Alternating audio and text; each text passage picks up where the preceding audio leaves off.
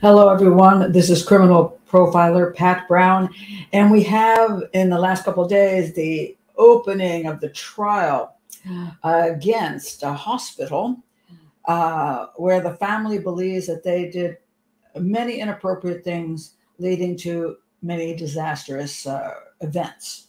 And this is all based on uh, this. Um, if anybody's been up on the Netflix show, it's very popular. It came out earlier, but now that the trial is out, everybody's watching it. It's called Take Care of Maya. And I did see that. And if you're just coming to the show, you're not in the chat room, you're coming to the show as a public later, uh, haven't seen that, you might want to stop the video, go look at it, come back. Um, because it's very interesting and it's also very, the whole issue is so very complicated. And so it's going to take a bit for me to try to help people understand things. Now, this is an educational channel. I say this all the time uh, because I use many techniques to get people to understand stuff that maybe they aren't familiar with. Uh, sometimes I use personal stories, which I'm going to use today. Um, and sometimes I go into depth on certain things. And I have had people say, well, could you just get to the point? you know, do a Dr. Grande, do do 15 minutes. Of, know, and he, I like his channel. He's, he's, he's, he's funny. He's got a great sense of humor. And sometimes he does point out some really useful things. So I'm not against his channel at all. I do promote it. Uh, but my channel is different. I'm an educational channel. So people come here and want to learn a little bit more in depth. It's kind of like the difference between writing a textbook and writing a text. Okay, if you don't have any energy to stay with the show past the text, you're in the wrong place. so, because this is a complicated case, I really want you to understand all the different aspects involved in this. And because I worked in a hospital for 13 years of my life as a medical sign language interpreter, I was like a fly on the wall to a lot of things that I saw happening. I saw Munchausen syndrome by proxy, which is one of the issues in this case. I also saw medical staff, which I wasn't pleased with. I've seen social work, I've seen psychology. I've had to sit there sometimes and just keep keep interpreting while I wanted to punch somebody in the face, you know, because I thought it was horrific. I've seen horrific medical advice. I've seen horrific psych- psychological stuff. Some stuff has been bad.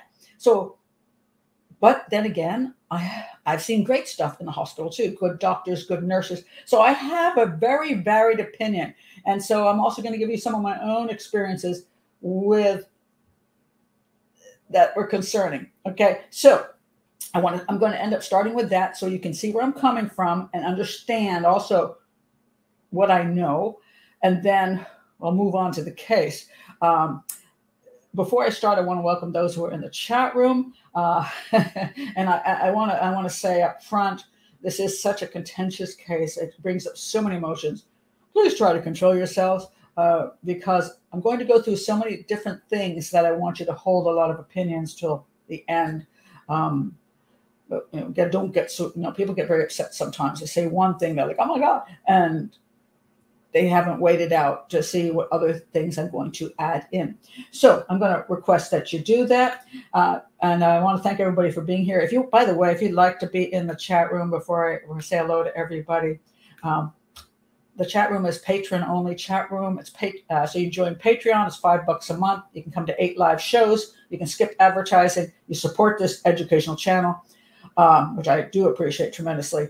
Uh, and we have a great community. And yeah, it's five bucks a month. And then after the show, after I do the live show with patron patrons only, then it goes public. All of my videos are public. There's nothing hidden. So there's there's and if you don't want to join, you're still going to see everything. Uh, please do subscribe to the channel like the video, and also hit the bell for notifications. It's very important. There are other ways to support this educational channel, buying one of my books below or clicking that little dollar sign. It helps because I just got demonetized on the last two videos I did, which doesn't help much.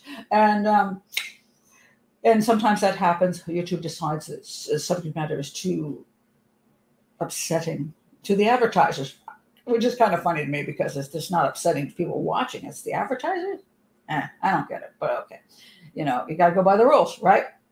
So, anyway, so I want to thank everybody for being here who are in the chat room. Um, uh, I also want to say thank you for being here early today. Normally my shows are later, and I know some of you, it's 11 a, It's 11 a.m. EST. I know some of you who are on the West Coast are not thrilled about this. Believe me, I'm not thrilled about being here at 11 o'clock, but I had my granddaughter's soccer game scheduled in, and so I'm here with I'm here with coffee because I know I, I, stay up till like three or four in the morning, so this is not fun. And I have a mouse that is living under my bed and rummaging through my the, the drawer next to my right on the on the bedstand and making tons of noise, and I can't catch it. I've got a I got a big one of those big pails out. I'm trying to catch a stupid mouse, and it man it went in twice, but I managed to get out. I can't figure out how it did it. So and I open a drawer and it just looks up at me and goes hi, and then it jumps in. I, I'm trying not to kill it, but I didn't get any sleep last night. So anyway, welcome everybody who's in the chat. I'm not going to go through all your names because I, but uh, I'm glad you're all here. Uh, let's get to this, uh, the issues here. All right. So as far as we're talking about here, a, a, strange case, and you, have this little girl at the time, Maya, who was, I believe, let me, let me read you the basics of the case, and then I'm going to go into some explanations about the two sides, which is the family side and the medical side. All right. So anyway, the, the case has just gone into a Florida court. It started on Thursday, and they they sued. The family has sued and took them like, my God, it's been like four to five years. They've been fighting to get this into court. And here's a hope. I'm not going to get into the crappy legal system because I think that's outrageous, absolutely outrageous. And this is the the game the system plays to you know, we're talking about, so we have two different issues here. One is, one is, uh, did the hospital do wrong things that caused disastrous things to happen? That's one thing. That's what the lawsuit's about. But then we have a whole nother issue. It's a David and Goliath issue. We have a little family against a huge, monstrous organization who ha- that have untold amounts of money. I mean, massive amounts of money, and then you have the family. So it, it, it's it, and then the system is so stacked in in in the direction of people who have the money because they can get these lawyers to just keep playing and playing and playing the game over and over and over again, delaying, delaying, delaying to try to drive the people who are suing them away. And they're going to just finally give the frick up you know? So that's a whole nother thing. I'm not i'm not going to be here to talk about the horrible legal system which i think it is i'm also not going to talk about entirely the the huge medical system run by the insurance companies and the drug companies in my personal opinion because i'm trying to keep this not to be a political channel. So so i'm not talking about that. What i want to talk about is what happened to the family and what happened with the, the medical staff at the hospital. Did did the family were were the medical staff at the hospital reasonable in what they determined, or were they unfair to the family, then causing a whole bunch of things to snowball? So let me read you what happened here. All right, the Kowalski family. Uh, where's the Kowalski family? Let me show you the Kowalski family. Okay, so uh, here, here's the Kowalski family. Uh, this is uh, the little girl's on the left, Maya. She's not a little girl anymore. She's an adult now. Um, and then we have uh, her father and her mother. Her mother is Beata. Yeah, Beata. And then there's her brother over there. He's also, I think, mostly an adult now. So that's the family. All right. But the but the, the mother is no longer with us because of circumstances during this period of time, which I'll get into. All right. The Kowalski family families allege that the hospital played a role in separating uh, Beata's daughter. Here, here's Beata with her daughter. Okay, there they are. This is happier days. Beata and her daughter, uh, Maya. Uh, they're alleging that the hospital played a role in separating Beata's daughter Maya from her family, which contributed to Beata's death. Uh, she took her own life during this period of time. All right, at the hearing, which was broadcast live, uh, Maya appeared in a black light. I don't care about that. All right, I'm not doing. I'm not doing the uh, the news portion. All right. All right. Let me get you the basics of the case. There's no Wikipedia page. And I know people go, oh, why she uses Wikipedia because she doesn't do any research. No, I use Wikipedia so I can give you a simple outline, not because I haven't done anything else, folks. Um, not not not my patrons. You understand me, but some people come in and go, "My goodness, she doesn't look at anything else." Yeah, I do a lot. I do a lot of research. I just use Wikipedia because it's clear and simple, just for informing people of the basics. Okay, in 2015. So this is from people. They're they're a much better source, right? Okay, in 2015, Maya was diagnosed with complex regional pain syndrome, also the, the abbreviation it's an abbreviation or acronym. I always forget these. I think it's an abbreviation. CRPS, a rare neurological condition that can cause excruciating pain in response to the slightest touch. People reported previously. Oh, okay. Uh, she was administered a ketamine treatment by a Tampa doctor who specializes in CRPS. So in 2015, um, let me try to. I'm, I don't want to do like massively long thing on this, but essentially in 2015, she began to have problems and she was taken to doctors. And this one doctor determined that she had CRPS and that ketamine treatments, which is which is very controversial, would be good good to use with her. All right, so she got those things, uh, and that was 2015. 2015 through the next year.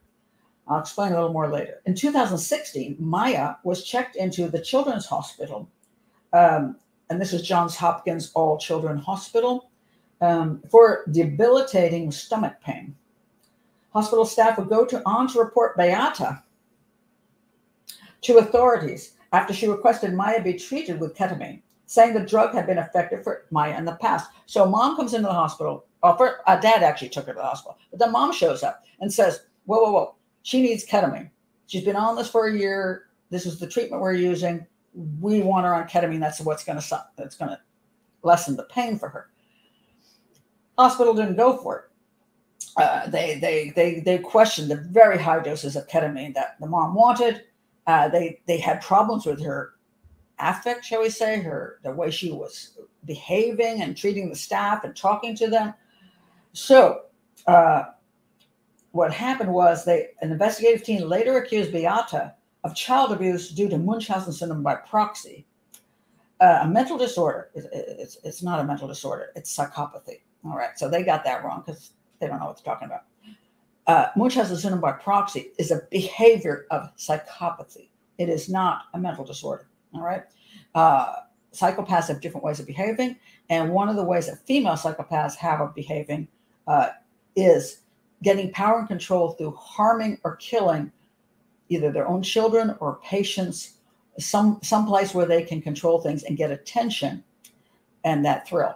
Uh, and that behavior is called Munchausen syndrome by proxy. Uh, Munchausen syndrome, if they do it to themselves, uh, Sherri Papini, for example, like, oh, I got kidnapped and was tortured. No, that's Munchausen syndrome, but she's still a psychopath who lies and makes up the story about herself.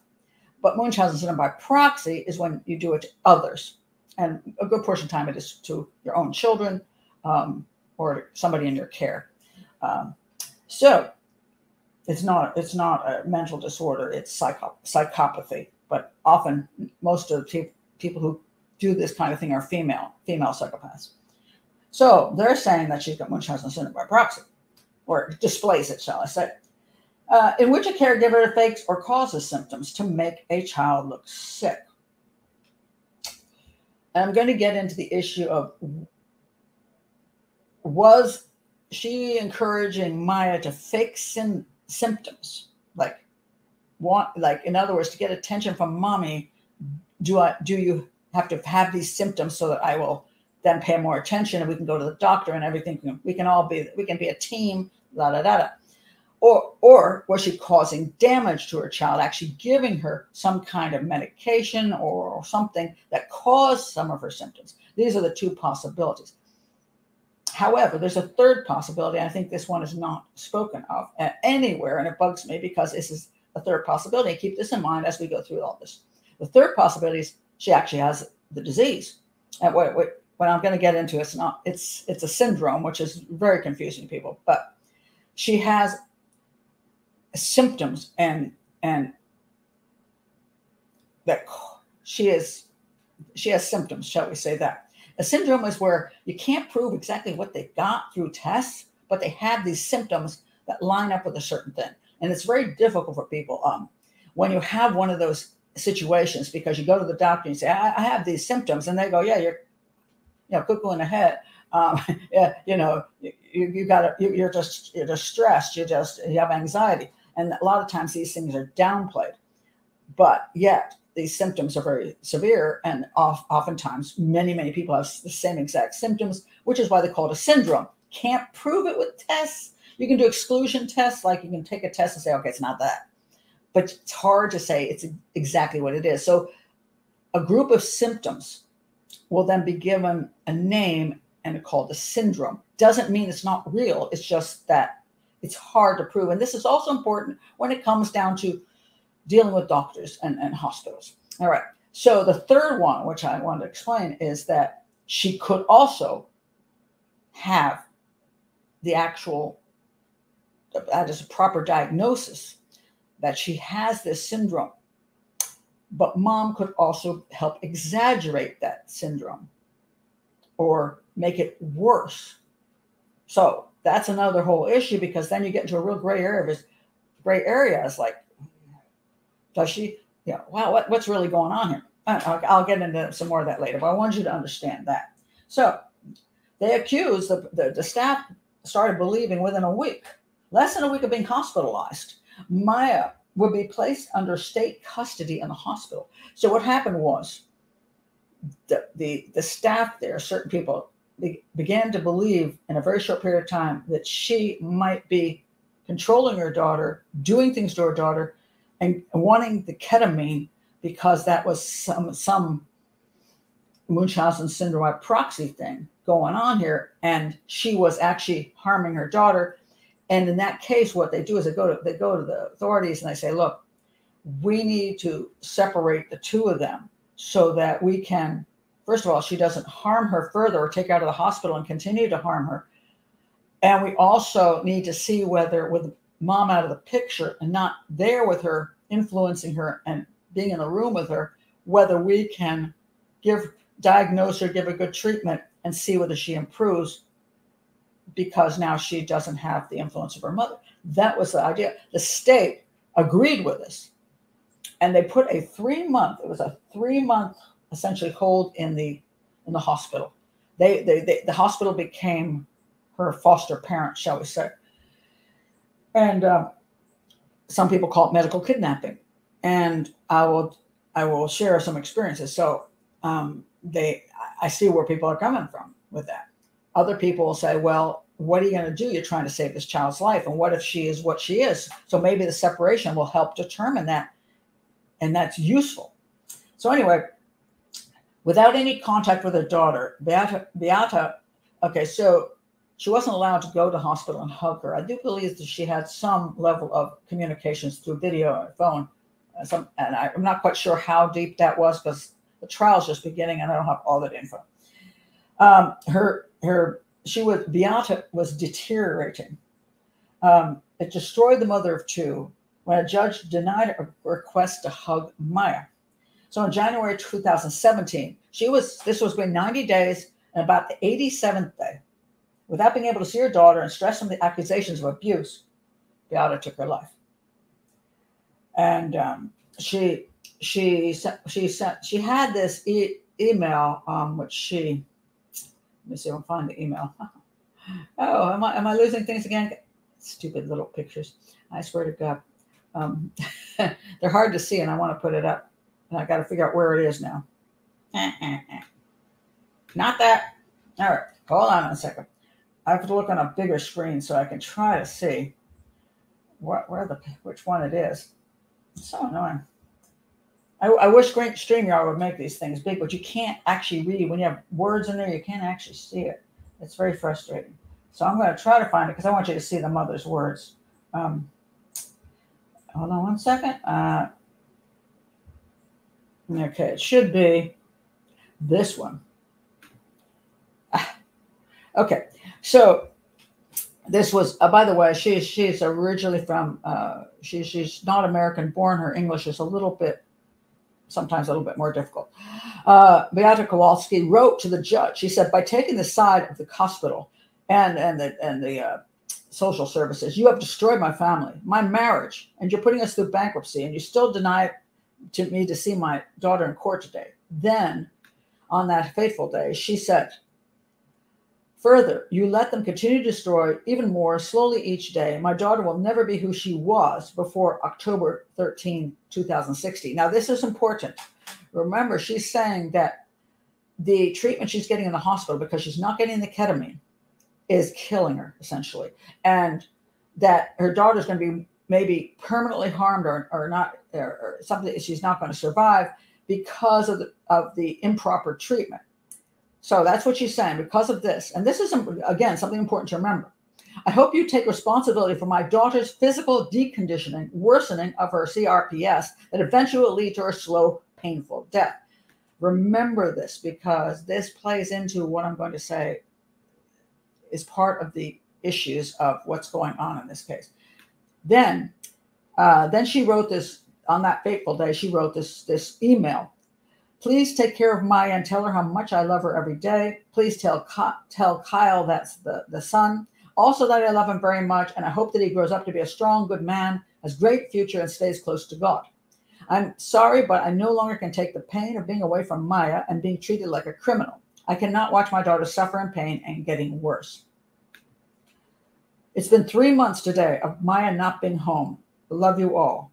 And by the way, it was like three days to the end of the three months. That was the actual, there, there would be another hearing and something else would go on. So, anyway, then I love you all. So, this is what the, the family is suing the hospital for that they, they uh, basically kidnapped the child for three months uh, with the with the courts. The court agreed with this, and and the mother was refused to allow to be physically with her um, and make decisions for her took away her rights as a parent, essentially. And uh, after, even though the three months was just coming to a close, for some reason, she decided to not be around. Okay, so, hmm, all right. Now I'm going to, I want to do, before I go into more details on the case, I want to give my little bit about where I'm coming from. Uh, so you can understand both of where you know I have. It's weird. It's like you you need to be as a profiler very objective in any of these cases. If you're also any any of these situations, you should be objective. However, we all come in with experiences that affect how we understand the situation. And people would like to say, well, we, you know, uh, none of that matters, but or you shouldn't even think about that. No, it doesn't work that way. We the way if you're looking at a case, for example, and the case takes place where let's say I'm, I'm analyzing a case from another country i've never been there i don't know the culture i have a much more difficult time understanding what might have happened than if i spent time in that location. Knew those people knew the culture um, so and sometimes if i don't i have to go talk to people who do know that because i'm I, am i am clueless. So a lot of people have not had issues with the medical system. They have not had issues with the social service system. They or they so they do not understand what's going on. They do not see different things that are happening. Um, I've had experiences with both. So I'm going to share those. I'm going to try to shorten it so y'all, and then I, because I think it's important, I do have knowledge of this. And I have, I've also worked in a hospital for 13 years and seen Munchausen syndrome by proxy and Munchausen syndrome. So I come from different, and I've been in profiling for almost three decades. And I, so I've studied this as well. So I have a level of knowledge that I want to share, both personal and educational. So anyway, um, so I'm just gonna I'm gonna j- glance at this thing uh, comments, but I want to make sure uh, that and some of them I'm not going to read, simply because I know this is you know sometimes people get um, you know it's it, it's one it's a it's one of these things which you know it's such a sad thing. Whatever happened to Satch? So um, it's hard to stay just you know unemotional. But we are we should be unemotional discussing this because this is profiling channel, not a um, not an advocacy channel in any way. So I'm not advocating anything here. I'm profiling. Okay, so let's get to what I want to tell you about. Okay, first of all, as I said, I've worked 13 years in hospital as a sign language interpreter. That was years ago, but um, I got to see people that had Munchausen syndrome and had Munchausen syndrome by proxy. I saw the lies, I saw the manipulations. I saw a lot of times the doctors, nurses had no clue they had this. And I'm sitting there going, oh my God, you're buying this crap? and I, some of it was just amazing to watch because I knew, because by the time I was actually, by the end of my first decade of working, I was had actually been studying profiling for for years. So I was actually already a criminal profiler and, and, and looking at these situations. So, but I, there's a lot hospital staff is generally speaking not trained in recognizing this. Some are, a few people might be, but in this particular case, they claim they have more knowledge and had seen this kind of thing before. And the problem is, if you work in a hospital, either you don't have any knowledge and you miss it, especially when people come. Some of the Munchausen's people also are very clever to make sure they go to different hospitals so that their their, their history doesn't really follow them. People don't recognize. Them, go, oh, weren't you here last week? Um, but also the staff, depending on whether training, they may completely miss everything, or or they may have some training and then hone in on it because they, say, well, I've seen this before. I was one of those people.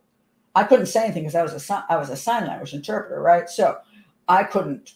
It wasn't my place to make judgments. However, I saw it a lot. I I saw it more, many, way more than once. You know, so I would see somebody come in with Munchausen syndrome, Munchausen syndrome by proxy. I'm like, here we go again, because I recognize it just like that. Um, one of the most fascinating ones I ran into was a, a young man who's a football player. He, he came in with a complete, I think it was kidney failure, and and his mother was in Chicago, and he was in Washington D.C. They called the mother up and said, "Your son is in um, the hospital and critical." And she said, "Oh, do you think I need to come?" Said, "What?" So anyway, she gets on a bus she shows up eventually. And um, she walks in and she's like all over the nurses, like, oh my God, what are you doing? What, what, are you doing this? Are you doing this? Blah, blah, blah. She was just into the nurses. She was ignoring her son completely. And, I, and I'm looking at her, watching her, going, oh my God, this is concerning. And, and then it, and, and it turned out her son had visited her just before he came back from to Washington, D.C. So his kidney failure might have been started in Chicago where his mother was who he was visiting. And I looked at her and I said, Excuse me, to the mother. I said, Are you a nurse? She said, Yes. I said, Work in a nursing home? She said, Yes. I said, On the midnight shift? And she goes, How do you know? Because there is a higher level of Munchausen syndrome by proxy people working as nurses on midnight shifts because it's elderly people are easy to kill. And uh, I just did a whole thing on the Austrian Angels of Mercy, that little group that killed lots of women in the nursing home, as, and they're serial killers. And I'm like, oh my God, you know, I was, uh, my concern was, did she do something to her when he was in Chicago because of all her behaviors? But I did mention it to the staff, and uh, I don't know if they took me seriously, uh, but uh, the boy did survive. Thank God. He was seemed like a lovely boy. So anyway, that so in the hospital, I got those experiences. But I want to share the other side, okay? Because I think it, it's it, I want you to see that I see both sides. So when I'm analyzing this, I have that knowledge. All right, this is me with my husband at the time. We are divorced, but we were together for 25 years. Uh, here, here, we are with my first child, that is uh, Jennifer. She's this cute little baby. Um, now, I moved out to California and I wanted to have, I was 24 years old. I wanted to have a home birth, but I couldn't find anybody to do it because I moved to California and didn't have time because I was like, I forgot, seven months pregnant or something like that. Um, and couldn't find anybody. So I found a, a, doctor and I said, Hey, I want to have a natural birth.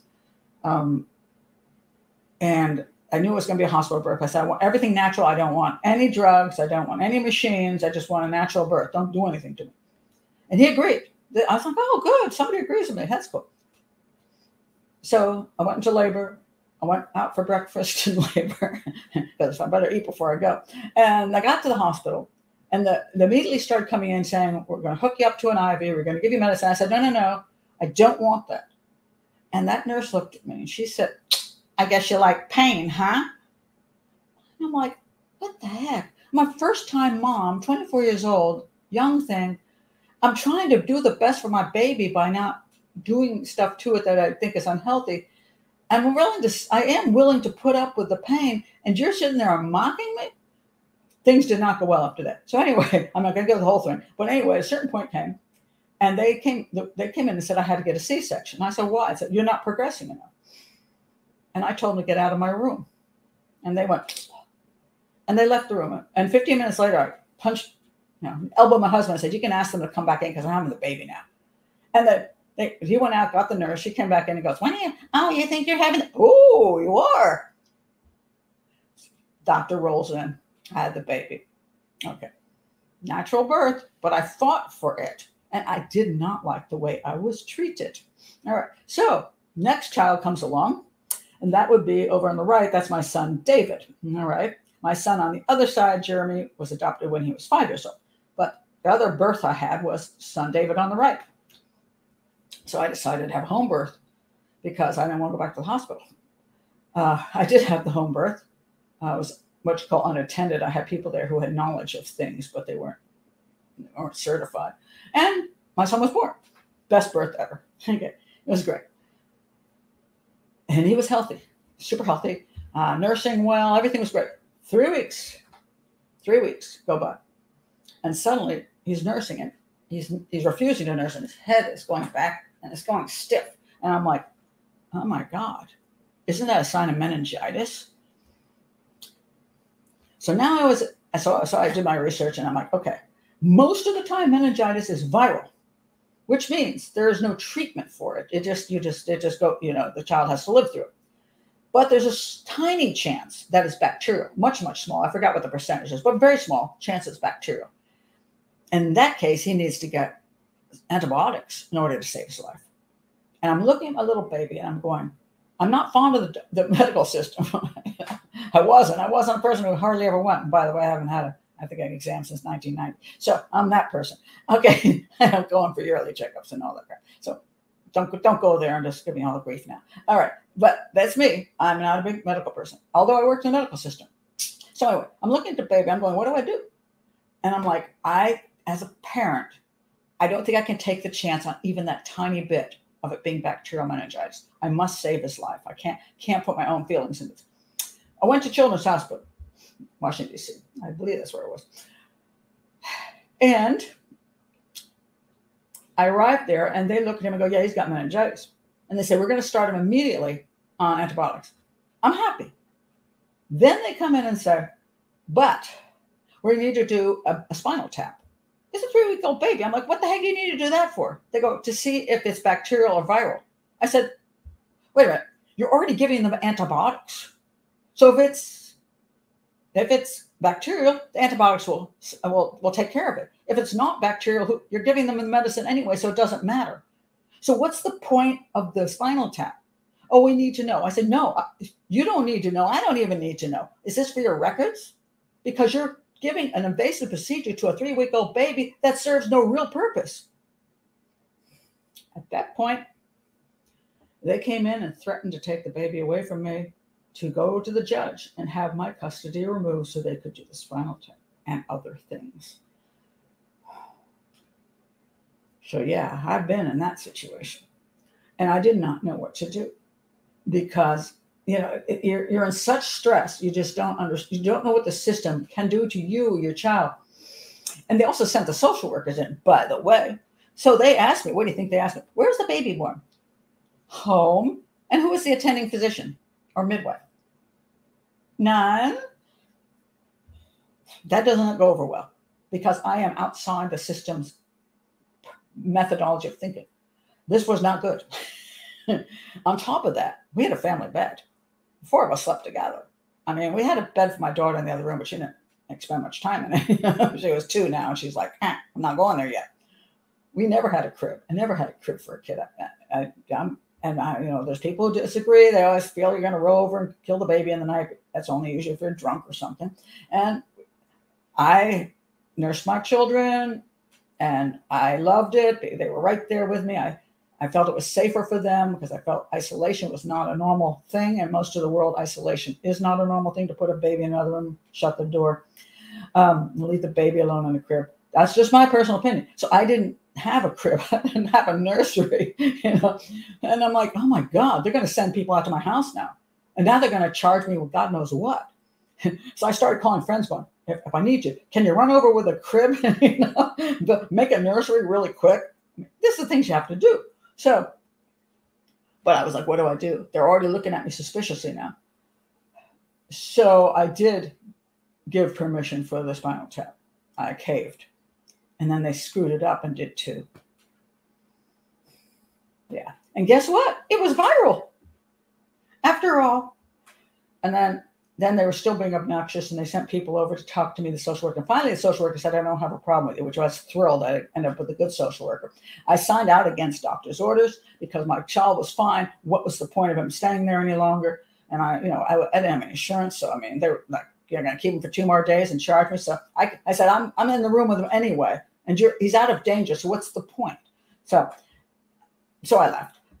It wasn't a good experience. it was not. And just to throw a little further thing on the system, um, I homeschooled all my children. And what happens then is the the in the in, in the time that we were in, uh, which is in the 80s, the public school system would send out people to your house once a year to determine whether your children were being properly educated, which was kind of a joke because it's like the reason we don't have them in public school in our area is because y'all suck. So now we have them at home. But they weren't concerned about the kids' education. They were concerned about social issues, that we were keeping our children, like their idea was there were a lot of either Christians or white people who didn't want their children to mix with other religions and other races. So they came out to my house, right? Walked in the door. And my, my, my, my meetings were like 10 minutes long.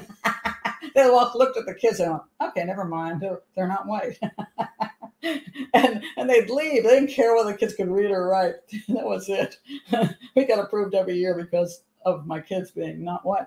But then I had friends who I had some friends who were white and they had white kids. And so when they heard the the school people were coming, they called me and said, Hey, can you bring your kids over? So then I'd bring my kids over to their house. And when the school people arrived, their children were playing with children of color. And then they got a short interview. and I had like two or three different friends call me up for this. And by the third one, I'm wondering, does a social worker recognize uh, the, the school people recognize the same three kids are sitting in each one of these people's houses? it was pretty funny. But that's how we had to outwit the system. So I've had my experiences with the hospital. I've had my experiences with the social services. And I also adopted my son, went through the social system there, the foster uh, foster care and adoption system. Also, the foster daughter, and had a horrible experience with the foster system, where they basically made ridiculous things and took my child, my foster daughter away, put her in a worse situation because she was in a great situation with me because she was deaf and I could sign. They removed her and put her with a non-signing family.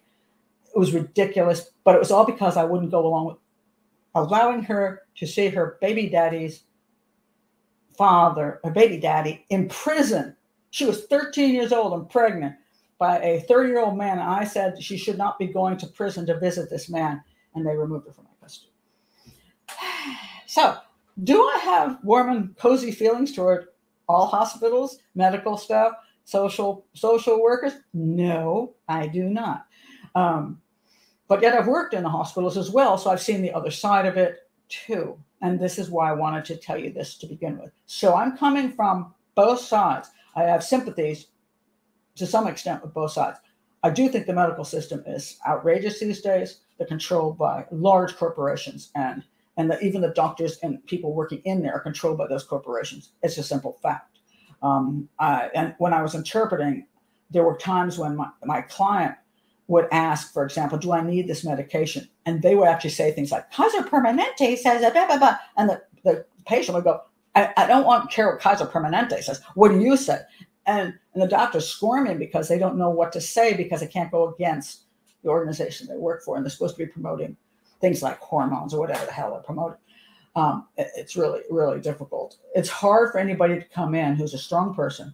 I just went in for an eye exam and I went to one place and they pissed me off right away because they wanted to ask me a ton of questions I wasn't intending to answer. I'm like, I want you just to do the eye check without any kind of prior knowledge of anything because I think it's very scientific and I don't want you to be influenced by anything I say. I just want you to look and then we'll talk.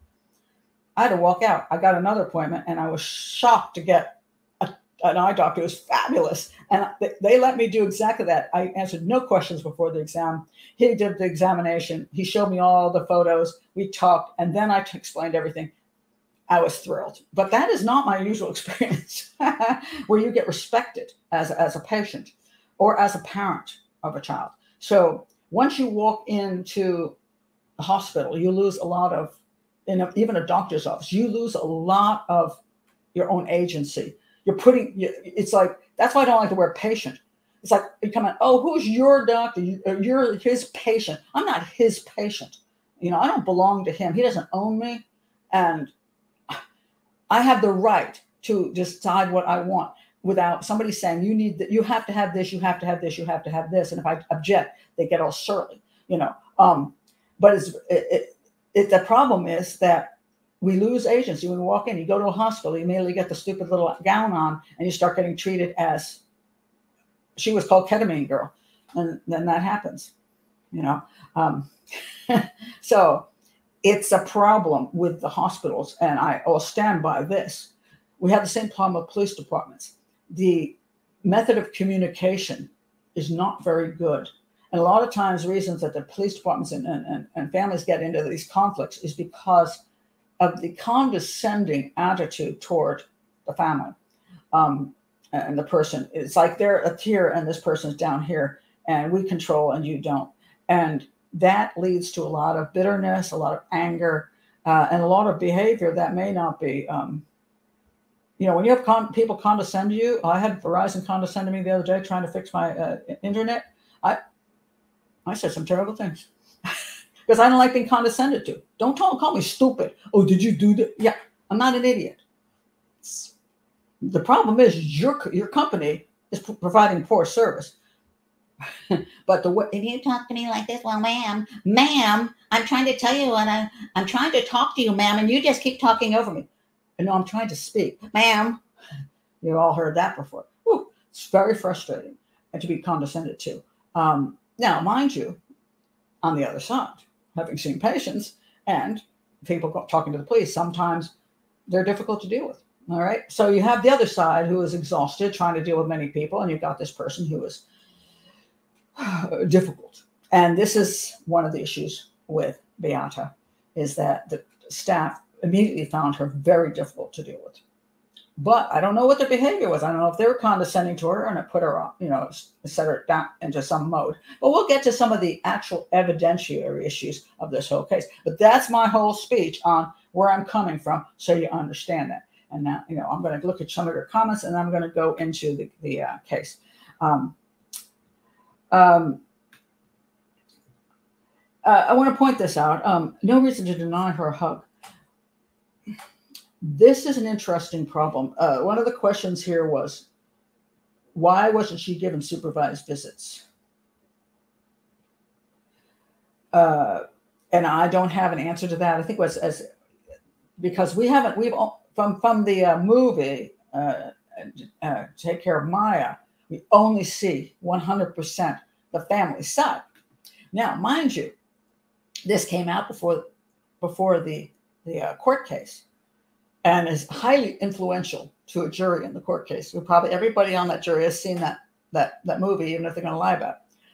Highly influential, and and some one of the things they said during the show was, well, the police refused. I mean, I'm sorry, the hospital refused to participate, and a lot of people took that as well. You know, if they're not willing to stand up, they're not willing to speak. Well, first of all, they're in the middle of a lawsuit; they can't. Secondly, having done this myself, I'm very skeptical of documentaries who are going to do long interviews with me and then they're going to take everything out of context, edit me, and make me look like a, a horrible idiot or something.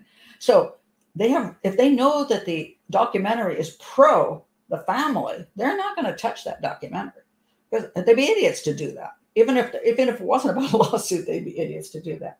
But could there have been, and I, I say I don't know the whole situation, certain kinds of supervised visits that would work. I don't know what their rationale was in that situation. Why? Because in a lot of situations where somebody else has custody of your kids in a foster care situation, for example, people have certain rights to see the, the person you're caring for as a foster child. Um, my foster child had an aunt um, that she had grown, up, they'd taken away from the aunt, mind you, but we, we there was a agreement and I drove her down to see the aunt and spent time, so she could see the aunt spent time with her, um, supervised, mind you, because otherwise she'd be riding on the back of a motorcycle, the guy 30 years old. and mm, Auntie wasn't exactly a very good guardian, but I was okay with driving there, which is about two and a half hours away, and having her spend the day, visit, go to lunch, whatever. Could they have done something better? I don't know because I don't wasn't there to see what the reasoning was, but one would think that was a possibility. Um,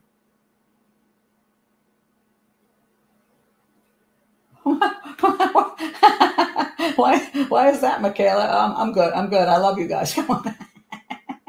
uh, except for except for Verizon. I don't like Verizon. Uh, but um, let's see. Um, yes, he was crying his heart out in the courtroom. And one, of the things, again, we have to watch out for, and this is where the jury system comes into pro- being problematic, and the, and the movie too. You, you, everybody is crying.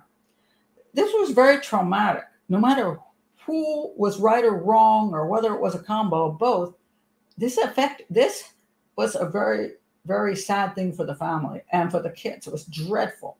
The question is, whose fault is it? Was it the mother's fault for leaving her family and leaving her children? Or was it the hospital's fault for driving the mother to make that decision? And that's where it all comes down to. And what some some so many interesting issues in that. Um, no, it's it's not terminal. It's it's permanent. terminal is different. I, am sorry, sorry, I don't understand where you come to terminal. It's not a terminal diagnosis. You have it forever, but it's not terminating your life. ALS is terminal because there's no you don't you you you got you know you usually have three to five years on that if you're lucky. Some people get ten, but it's very rare. But you that's terminal. There's no there's no way to fix it. You go downhill. Uh, CRPS is a may, maybe a lifetime a diagnosis, and I know you have experience with this, but I believe it's a lifetime diagnosis, not terminal. Um, let's say. Um, let's see, da, da, da, let's see what we have here. Um,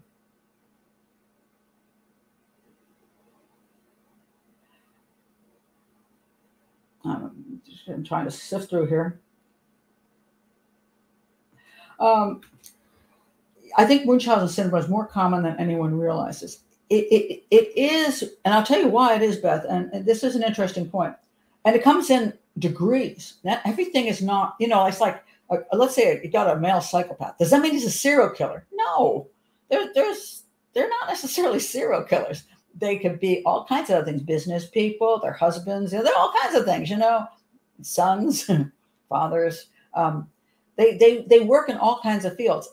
Their psychopathy doesn't necessarily mean they commit uh, lethal crimes. It could mean they're just difficult to deal with because they lie a lot and they manipulate and do all the things psychopaths do. But it doesn't mean they kill.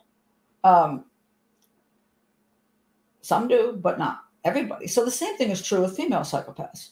Uh, and you know, this is it's a narcissism continuum. So here, here's the thing: it's really you know when we want to put people with labels and put them in exact boxes, you know, there are too many too many labels, too many boxes. Essentially, it's like this: we all have self-interest. If you didn't have self-interest, you're an idiot.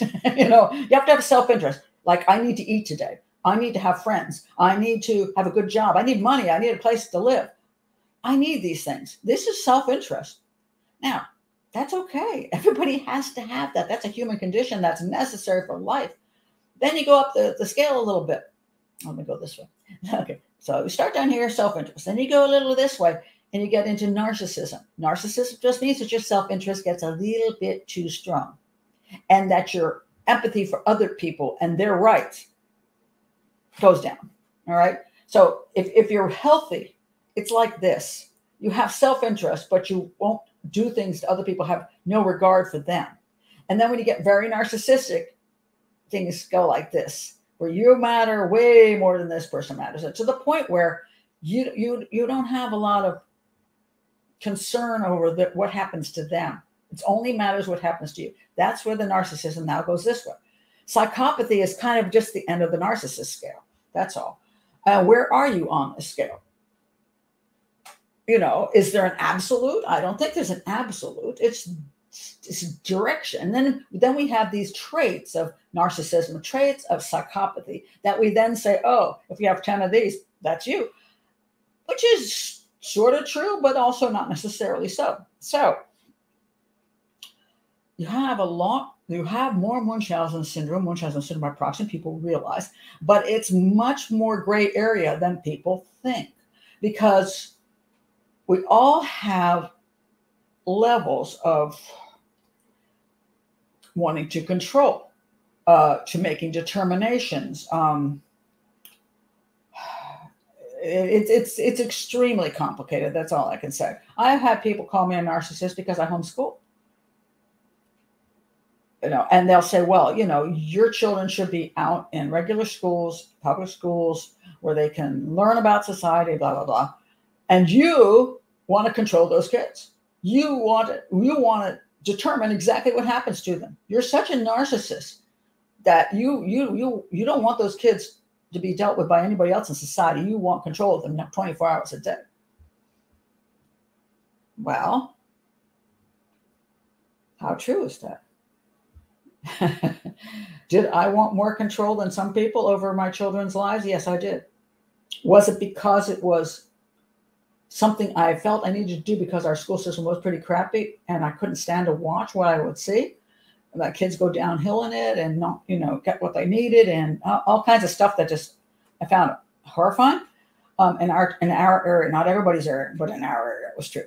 Um, or was it? Did I keep my kids home to fill, fulfill my own needs because I didn't want anybody else to be interfering with me? I wanted to control everything. Is that why I did it? Who knows? You know what I'm saying? I, I, I can't prove it.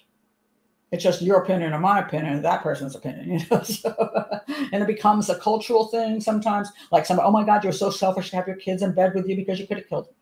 Okay, so I'm selfish now. Now I'm a, now I'm a psychopath, you know. Or other people say, well, I saw that is so wonderful. You're a great mom. You nursed your babies. You kept them close. You loved them so much. Which one is it?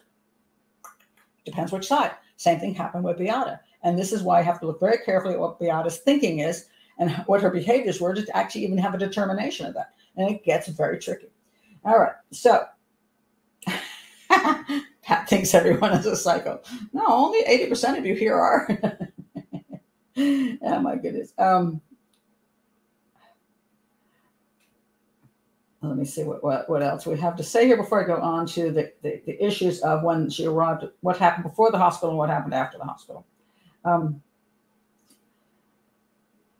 I, I just, I'll just point this out because I think that's a reasonable thing to say, uh, uh, uh, point uh, just on, on police. Th- there is a truth to that. Uh, police are scary, and they're scary because they have power and they have guns, and they are taught to have a level of toughness. Be- and and they probably came in with it because my daughter is a police officer and a police detective. Um, she's a lot tougher than me. I can't. I that's why I never became a police officer. I can't. I can't do that. but she she's a great person. She's wonderful, sweet, all these things. But she's also very tough, and you have to be on that job. But sometimes the problem is when you're dealing with people. Can you? I've seen her change her voice, which is kind of cool. She when she's talking to like like citizens and, and parents of something happened. She's worked in all kinds. She's worked in homicide. She's worked in sex uh, sex crime. She's worked in child abuse, domestic abuse. So she's really good at interviewing. Uh, quite spectacular at that. And she could change her voice, the sweetest thing you've ever heard. And I'm like, you never talked to me that way. so yeah. Um, so anyway, um, but oh, suspicions. Uh, well, see, okay, well, I saw suspicions go by, I want to point that out. Uh, well, again, this is I have to disagree a little bit, Sarah, uh, about systematically tearing her apart for suspicions. This is where it gets really tricky. And I am going to show a thing from Dr. Grande because I think he pointed something out quite well um, in his uh, his discussion is his 50 minute discussion. I'll, link I'll link him too so y'all can see that. But I do have some of his his commentary on it. So the, let me let me go back and just say this. All right. So there there were some reasons to be suspicious. So when a when a child comes into the hospital in horrific condition, uh, and a parent claims certain things that cannot be easily diagnosed, you and of course she could say my other doctor's diagnosis. This is true. Um, does that if somebody else diagnoses a child, does that mean the hospital staff and medical doctors do exactly what that other doctor says? That would be you can't do that because in your own if you're going to do things yourself you can't just accept something somebody else says somebody else says oh that doctor said that person needed this surgery. You just don't roll them into surgery and cut them open because that doctor said that. You have to work through it so that when you do the surgery you are confident that you're doing the correct thing. So if somebody says give her ketamine ton, this really super high doses of ketamine, something that was not a normal approved thing in the United States. They're asking immediately, she came in, immediately asked the doctors to give her these levels of ketamine for, for something they had not diagnosed that is not actually very diagnosable. And then she wanted to give a child huge levels of very high levels of ketamine to kill the pain. These doctors would be remiss if they just said, oh, sure, okay, whatever. So you can have a quack doctor out there in a heartbeat. And I think her the doctor she did get was very concerning. So, and I'll say, say I'll show you why I think she ended up with that doctor who recommended these horrible ketamine treatments. And now, now ketamine, I'll take this back. Ketamine can be useful, especially in this syndrome. It can be useful. Uh, and maybe one of the things that works. But the question is, how do you, how much do you give and do you do anything else before you give it? In other words, did you use other treatments and this became your last resort? This is one of the biggest issues in this case. So let me read you what Dr. Grande said. I'm going to I'm going to slide over to what he said because he gives a very interesting description. Uh, let's see where I put it. I got to find it, and I think that's it here. Okay, this is his description, I think. Yeah, okay. 90% of vid- uh, individuals who have factitious disorder, we're talking about does could she have Munchausen syndrome by proxy? Now, mind you, she was highly aggressive. She said to, told the doctor she wanted the treatment that she wanted, that they should go ahead with that. They shouldn't do something else. They shouldn't. So she was very aggressive. Now, is it because she totally believed that this was this was the only treatment for her daughter and she she believed that not not because she had any kind of uh, psychopathy or anything or narcissism just that this is truly what she thought worked for her daughter and she was horrified that they weren't going to do what she thought was best now mind you again this is interesting. I want to point this out. She's a nurse. She's been to nursing school. She knows how hospitals work. She should have been very well aware when she got into the that when her daughter entered the hospital with a condition which is hard to diagnose and she was going to request high levels of ketamine, that she was going to encounter resistance. She should have known that because she's a nurse. And yet, apparently, the staff found her very, very volatile, very angry, very like, you better do this type of thing. So they were like, why is she behaving like this? Why is she trying to force our hand before we even get to look into what's going on? So that's what raised those suspicions. Now, are those any of the things she was doing, were they evidence of Munchausen syndrome by proxy or factitious disorder. All right. Now let's look at what Dr. Grande said. 90% of the individuals who uh, have factitious disorder are the biological mother of the victim. All right. Absolutely. She's a biological mom. The perpetrator tends to present as overly attentive and attached to the victim. Oh my gosh, is that ever true?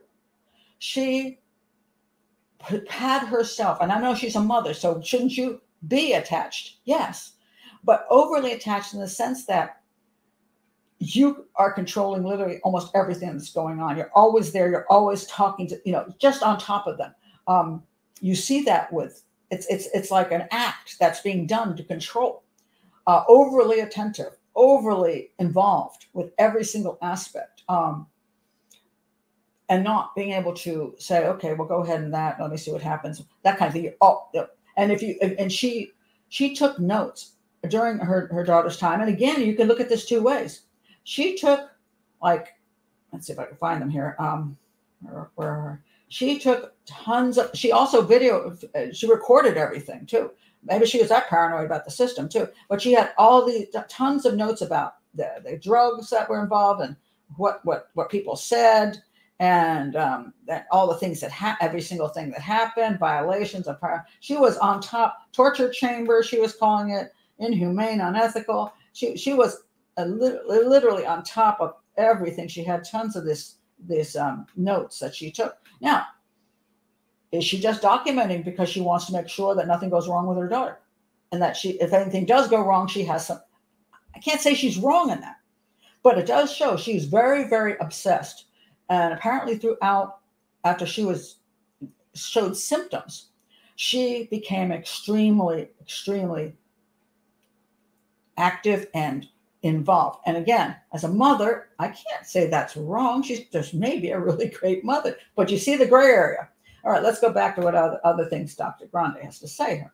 All right, so overly attentive and attached to the victim. All right, uh, may have extensive knowledge of medical terminology and recommend specific drugs or other treatments.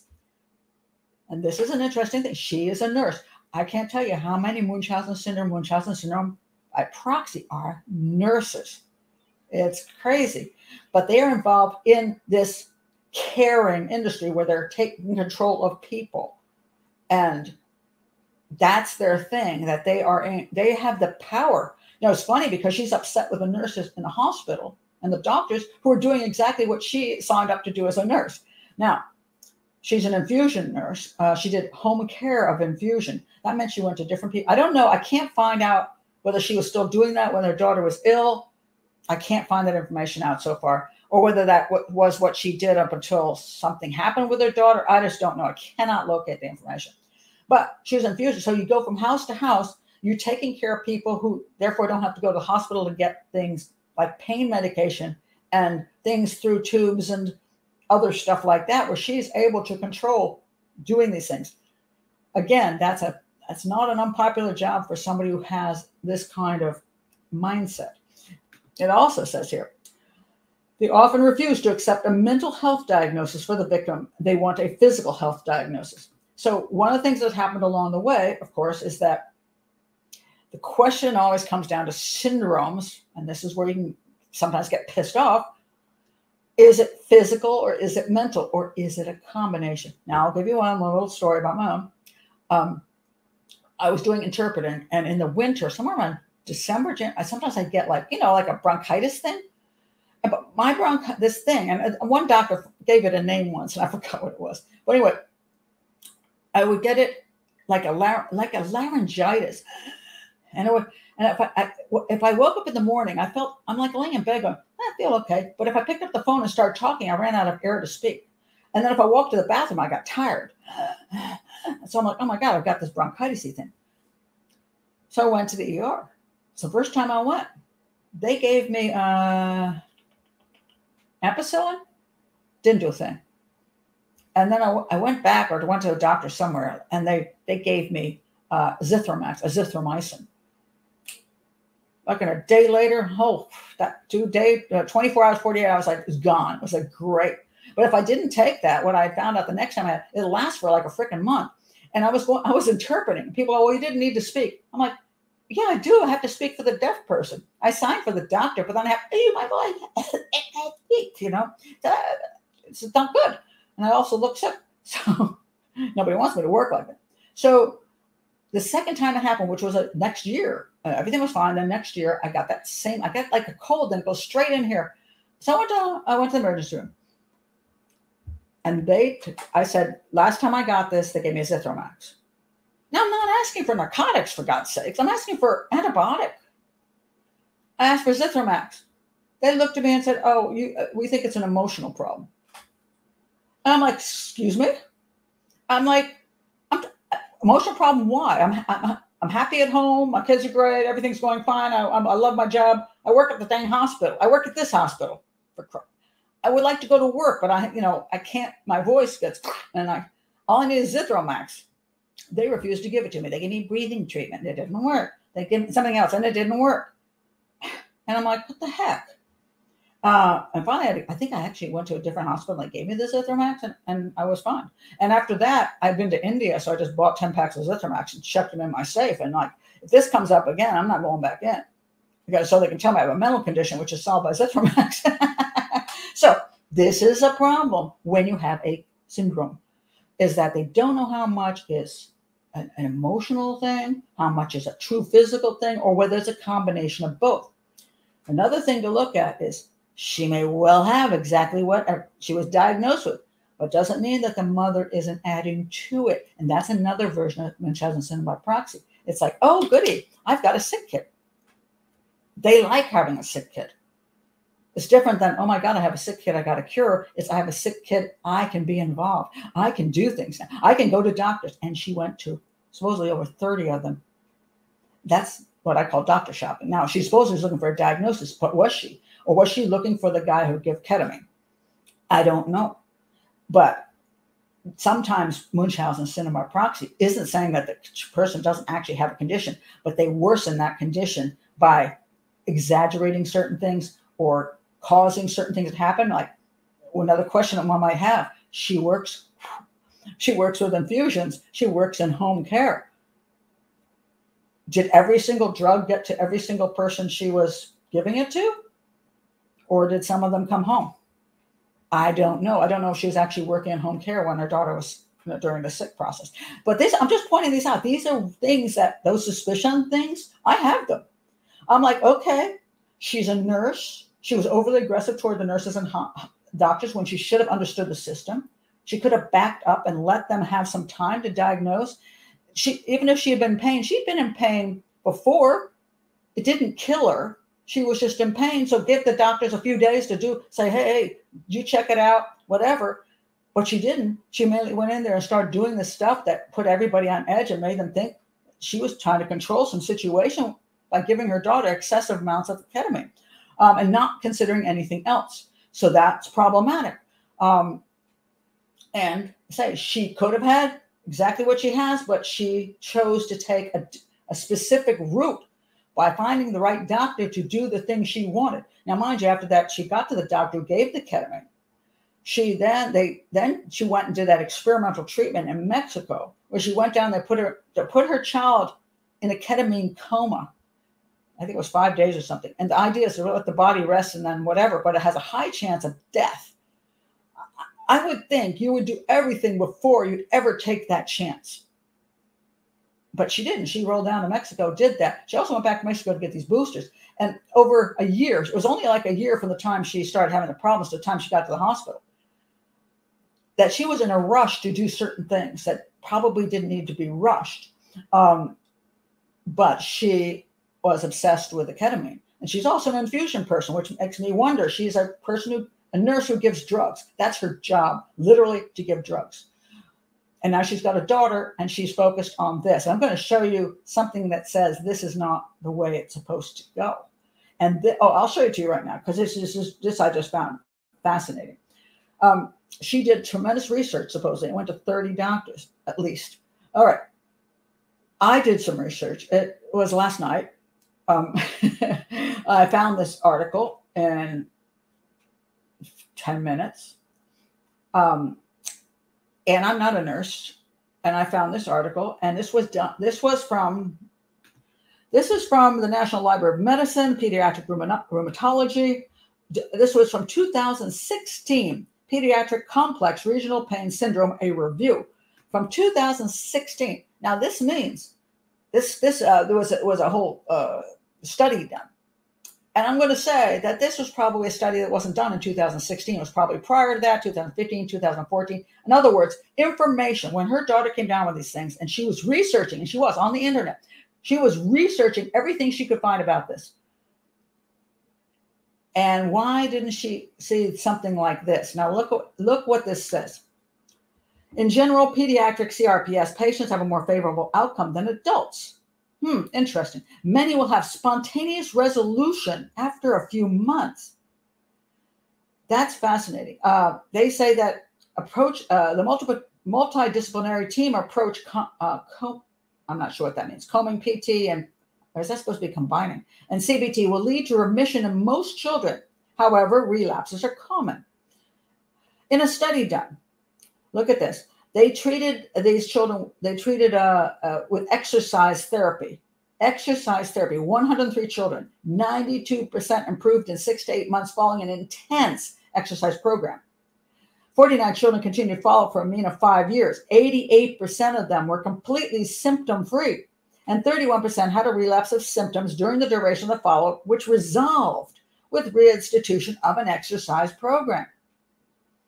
The median ter- uh, time of recurrence was two months, with almost 80% of the recurrences occurring during the first six months after treatment completion. In a retrospective review of 32 children with CRPS, treated with intensive inpatient, inpatient physical and occupational therapy in conjunction with psychological therapy. 89% actually had full resolution. 89%. I found that. So, what the one of the things the hospital offered Be- Beata was we want to move her to a facility that can do better than we can do here. Intensive we wanted her to get intensive physical therapy along with occupational therapy, along with psychological stuff. She refused. And in all those 30 doctors, she, she worked up to getting Mr. Ketamine doctor. How much physical therapy, psychological stuff, all this stuff did her did she have her daughter involved in? I don't find evidence of that. That she put her in a before she hit, hit her up with ketamine and took her and put her in a coma that she did what this study says most kids with this do best if they get this intensive treatment, which is non invasive. Now, if I got a little girl who's nine years old and she's in pain and there's a way to treat that non invasively, I'm going to go there first before I start chucking a whole bunch of medicine in her and putting her in a coma, which would cause her death. That's why the doctors were suspicious. They saw these signs that concerned them. That she refused to allow them to spend any time getting diagnosed, to put her in a facility that would do these things, that all she wanted was ketamine, ketamine, ketamine, ketamine. That was their problem with her. And so they questioned that she was, they were concerned that she didn't have the best interest of her child at heart. So that's why they asked for that separation. And in that time, the idea was, well, if she's not there to push ketamine on her, we want to see if she can get better. Now, of course, I didn't have the things they needed to do. The the, the, the very very uh, uh, big program of uh, physical therapy and all that. They had some, but not to the level that the doctors, the hospital wanted to move her to a place that she could get that. Even as an outpatient, they were willing to do that. But it didn't happen. Now, here's something interesting to note.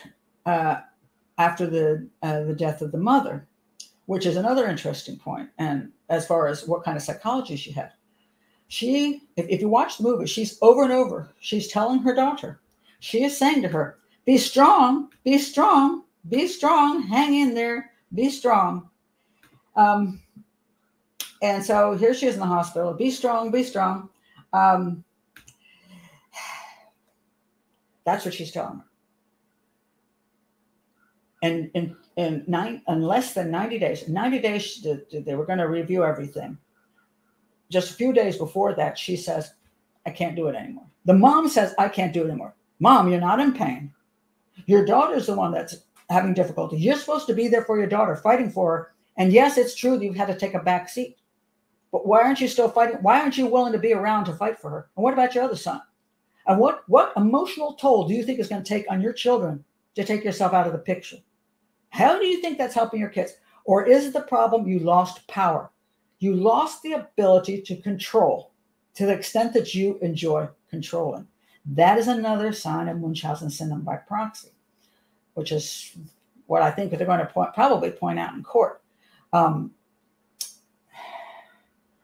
do I think she had some kind of condition, which, which was the condition she was diagnosed with? I think it's very likely she did have that condition. Do I think she took the proper treatment route for her? No, I do not. I think she went, she was an infusion person. She liked the control of giving medicine. That was a thing for her, it seems to be. So I think that's problematic. Now let's look what happened after she after after she was no longer in the picture. She was allowed to go home. All right. And to her father's care. And her father, by the way, so some of the other interesting things before I go into what happened after she got home, let me point out a couple things that they that are said to be true that uh, are interesting. Several doctors personally observed Mrs. Kowalski was aggressively hostile toward providers who disagreed with her, screaming and demanding that Maya be placed in a medically induced coma and having a pump implanted into her spine. Beata once stated Maya was in so much pain she wants to go to heaven. Doctors observed Maya acted inconsistent with her and her mother's claims of severe pain and disability, including standing up in bed and sitting Indian style. Uh, so they, they, they saw she had some pain and some problems, but they didn't see it to the level that the mother was claiming. Um, the girl told the nurse she was tired of these lies. I don't know how accurate any of this is. And they said she was uh, severely underweight when she had arrived, hadn't eaten, uh, and now they were feeding her. Now the the the the process the the the family's lawyers are claiming that she lost weight in the hospital, and the, the, doctors I think are claiming she gained weight. So I don't know it's true there. But listen to this also. All right. Uh, apparently, they were not the only hospital that suspected there was medical abuse. There were other people that also been flagged before and at other hospital. Most disturbing is that Jack Kowalski admitted to a police investigator that he witnessed the same concerning behavior from his wife that the medical professionals uh, witnessed. When he was with Maya, Maya had no complaints of pain, and when Maya's mother got home, Maya would suddenly be in pain. Also said that uh, he wouldn't. Jack was willing to say that Beata, Beata let, uh, if that Beata leave the house if it meant her daughter could his daughter could return home. Um, he said that he thought there was a psychological component to his daughter's condition.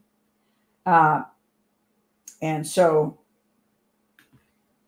there's other, this is there's a lot more here than people realize. But okay, so they let, she was no longer in the picture. They, they let her go home to her, her dad and do outpatient care. Now, um, and so this is, uh, where's, where's a picture here? Um, this is her uh, funeral. She's in the wheelchair. She's just come home. Okay. Now, the, when she was sent home, let me see if I can find the right thing here. Oh, let me find the right thing. It's down here somewhere. okay, is it there? Oh, oh, wait a minute. Hold on a second. Uh, it was also claimed. Here's another thing that was just claimed. Um, there is a claim that she had written fraudulent prescriptions and faced criminal charges, and that's one reason she might have this issue. Now the defense team says, I mean, the uh, families uh, lawyers say that's a, a, lie from the hospitals, and I don't know if that's true or not. Um, but let me go to. I want to go to what they sent her home with. Um, hold on a second. I got to figure out where it is on this this little teeny thing. Where did it go? Hold on a second. Uh, hold on, I gotta find it. Um, because this this is the regimen they sent her home on, and this is important to understand. Um, where is it? Hold on a second. Oh, da, da, da, da, da, da, da. Where to go? Not that. Where is it? Ah, here we go. Where did I put it though? Where, where, where? Where did I put it? Hold on a second. Okay. Okay. Where is Maya Kowalski now? As of this article, she's 17 years old and takes part in Duke University's Talent Identification Program for Gifted Children. She still has CPRS but the courts ordered her family not to undergo ketamine treatment anymore. A year after she left the hospital, she took her first steps unassisted. She said, I still have pain, but it's not as severe as it once was, and I'm forever grateful for that. And here she is today.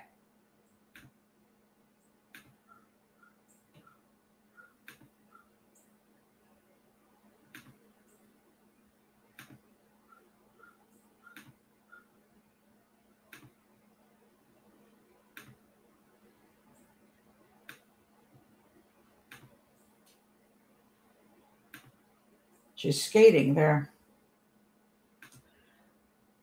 Because as the article I read to you about the study, most of the children who get this, not necessarily the adults, the children who get this, most of it resolves over time. And they, with physical therapy, occupational therapy, and some psychological support, most of the children do not have severe symptoms of this later in life. It disappears altogether, or they have it in a milder form. She never she never took ketamine again. And look at how healthy she looks. Did she really need to have massive amounts of ketamine and be put into ketamine comas when she could have these other methodologies? And what bothers me is she didn't seem to care about those other methodologies. She only wanted ketamine. Um, I find that highly suspicious. If I were in the hospital and a doctor or nurse seeing what was going on, I might have done the same thing. I now, having said that, was there a better way to do this and not have the system be so brutal? Perhaps, because I've seen that that brutality thing where they come up with, oh, we have a we have a plan, and you better agree to the plan. If you don't agree to the plan, you lose custody. That's what they did with me. You don't agree to the plan to give this your son this, we'll take custody from you and get the judge to order. Didn't make me like them. Uh, but what was why why they my I believe my my opinion on that uh, the the the spinal tap on my son was perfectly legitimate. They wanted to do it their way, and it was harmful to my son, but I lost power in that instance. Now, that can be the same thing and happen here. You know, here you've got a child who's been under care with somebody who I think is mostly a quack, in my opinion, because he didn't seem to think she should do any of these other things first. I think he was just one of those drug dealing doctors who just that's the way he did his thing. And she liked it. But what concerns me is for all the research she does in the knowledge of nursing, she didn't seem to want to go a more a less invasive route for her daughter. Um, and the invasive and it, oh, and it was proven once she was no longer in her mom's care, she improved and became quite a healthy human being. So the ketamine was not probably the appropriate thing at that point in her care. But why was she so insistent about it?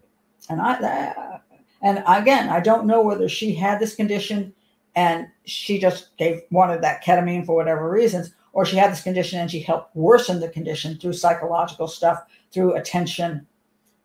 That's what the husband said. It seemed like when she rolled in, she had more pain, stuff like that. Whether she could even have done something with something she got from work that would cause certain symptoms, I don't know. And she's dead now. We'll never know. But I will I say the one thing that stands out to me most is that she wouldn't go for a less invasive treatment first, which was recommended and proven by study. And I found it last night in 15 minutes. And she's a nurse and did massive research for her own daughter and didn't make that choice, went straight to putting her in a coma, which would have, could have killed her, took her out of the country to do that. I'm, I, I have to lean on the side of she had serious problems. And also the fact that she she was about to end this 30 this 90 day thing was just about to end in a few days. And she takes herself out of the picture. Why? Why wouldn't you say, good, it's, it's ending. Maybe I can get something done now. Instead, she runs away permanently, inflicting massive pain to her children, her family, all because she didn't like being called a criminal. If your daughter has a disease which causes her agonizing pain, and she has to go be put in a bloody coma on your okay. You can't you can't deal with being called a criminal a little bit, and and and understanding that you're fighting you're fighting the system. I get it. I fought the system many times, but I was there for my kids. And you decide in less than 90 days to take yourself out, that's a sign that you have some kind of emotional problems. You have some kind of psychological problems. That kind of seals that one. Now, what kind? You can argue over the what kind, but I'm going to say I lean on the side of the hospital was probably correct in their belief. Were they did they handle it well? I don't know. It wasn't there. I don't know how rude they were, how bullying they were. I didn't know if they had other options that were better uh, for for dealing with this whole thing. Because I say I'm, I'm not fond of a lot of the condescending crap and the power power trip that they can put over on you. I'm not fond of that. So I'm, I, I think the hospital may be that monster institution and corporation that takes it ends up being um, a power such a powerful control. It's frightening, and when they collude with the government, it gets even more frightening. So uh, that's a whole that's a whole big issue. Uh, it is, but the, the issue here is did is the hospital responsible for what happened for her choice?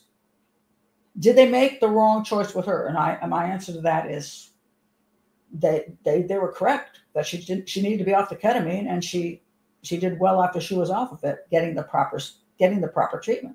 The hospital was actually correct in that, and they were probably correct in that she's likely to be Munchausen by proxy.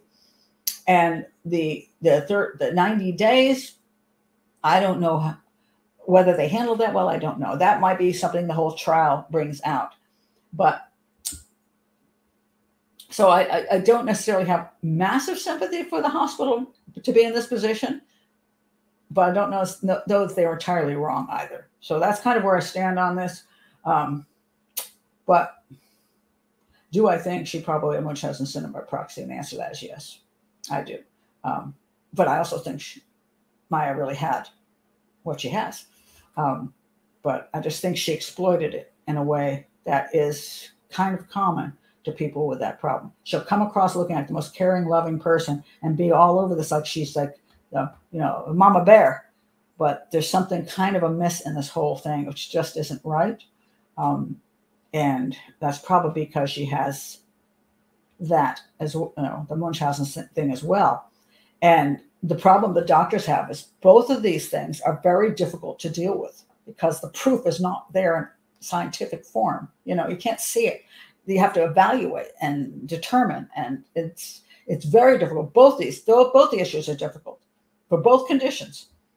Um, and then we go back to Doc, Dr. Grande, I thought was interesting. He basically says he understands why the hospital did what they did. And they said, well, when he, they found out they were wrong about her and her condition, they should have like done something different. I'm like, that's not exactly taking her out of Munchausen syndrome by proxy just because she does have a condition. That's not it. Because again, sometimes that's what you use and get very excited about. Um, but I talked in another video about a, a, a girl that, um, a woman that wanted a C-section early and managed to get it. So her child was born a blind and, and uh, uh, completely messed up. She would, that poor little baby went off to the hospital for sick children and died a year later. And that woman who is Munchausen syndrome by proxy, very, very absolutely loved that whole year because she went to the hospital all the time and got everybody to fawn over her and pat her on the back and say, Oh, look at you, such a wonderful mom. You're coming to visit the baby. She didn't have to take care of that baby. She just, she liked watching the see, she wanted to insert herself so she would get all the attention and all the sympathy. She was thrilled about that. No, she didn't care one bit about the baby. She just cared about the fact she was the mother of that sick little baby. And everybody felt bad for her. That's what she did. So sometimes that's what you know you get a person like this they like going to the doctors they like and if they don't get what they want from that doctor they go to the next doctor until they get that and then they control things and there's a whole thing in there um, and when she got to this hospital that all came to a screeching halt and that made her very angry which is also something you see with Munchausen syndrome proxy they don't handle losing power and control very well they get really nasty and um, and she uh, say nine, less than 90 days later, before she's just about to come out of the custody of the hospital, she decides not worth not worth waiting for. Uh, I, I will stand with uh, that. Uh, not that I love what the, the hospital's methodologies, but I just don't know it all of it. I just know that I've had bad experiences uh, with the way people are treated. And, and, and I think that needs to be improved. I think that whole system needs to be improved. I think the social service system needs to be improved. Foster care needs to be improved. The hospitals need to be improved, and police communication also needs to be improved. And our legal system sucks. They're like like like the rate. That that that's that's a whole nother thing. I'm not gonna get into that. so anyway, I don't know where I'm at here now. All right. Um, yeah, they say the documenting was not necessarily a proof that you know anything wrong in that. Um, just that she was very, very much so the person that did all these things. And um, I'm trying. I don't think I doc. I don't think I document anything. To tell you the truth, when it's happening to me, I think I was so shocked and um, just struggling with, just dealing with, just being with my son and watching him. I didn't have time to do all that. But um,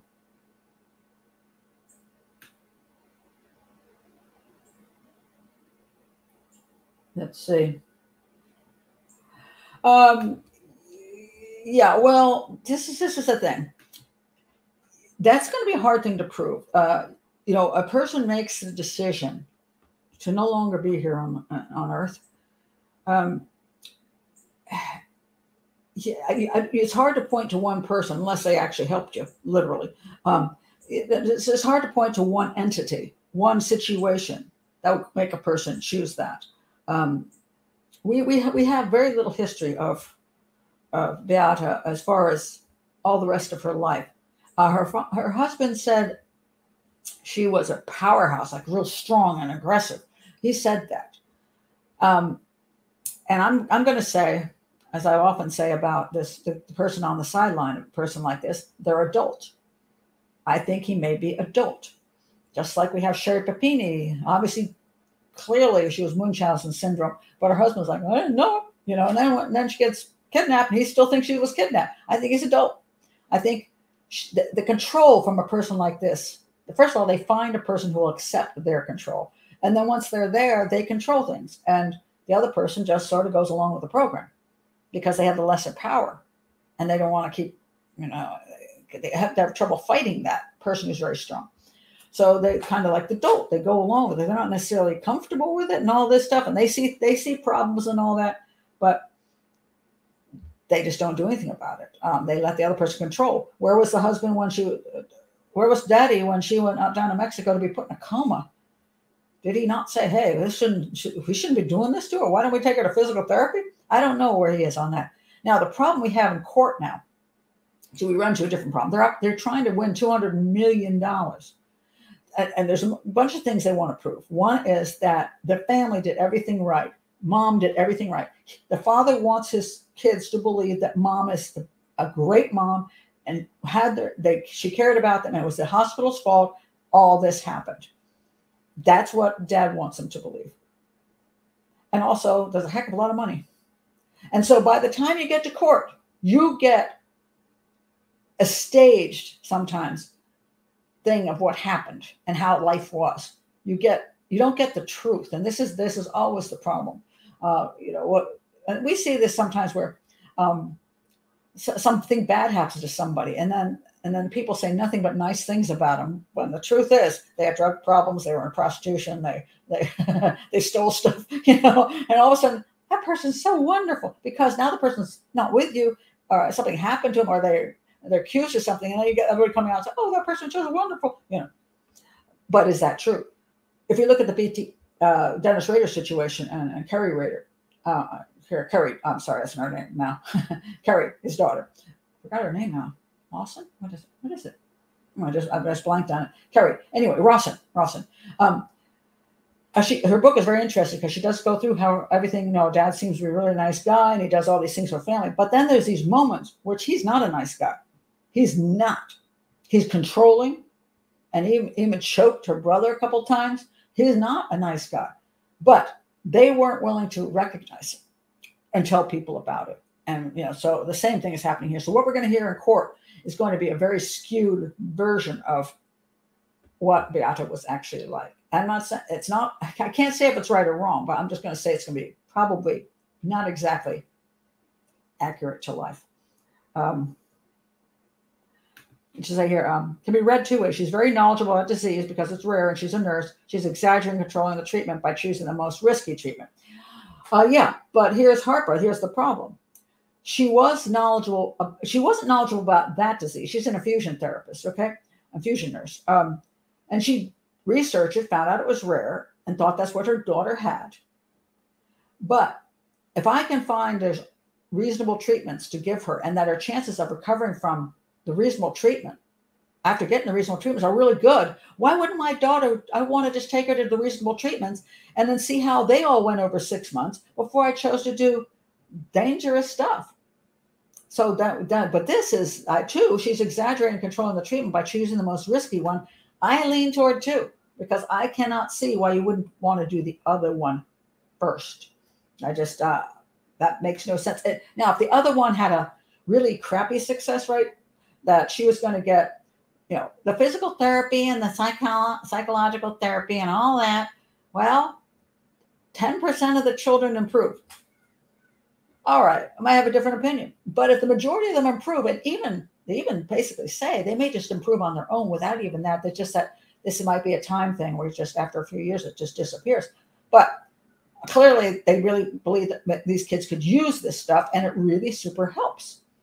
And even if they do relapse, they just go back into it again. And by the time they're adults, they're in pretty good shape. You know, um, majority of them are doing well. And and if you look at um,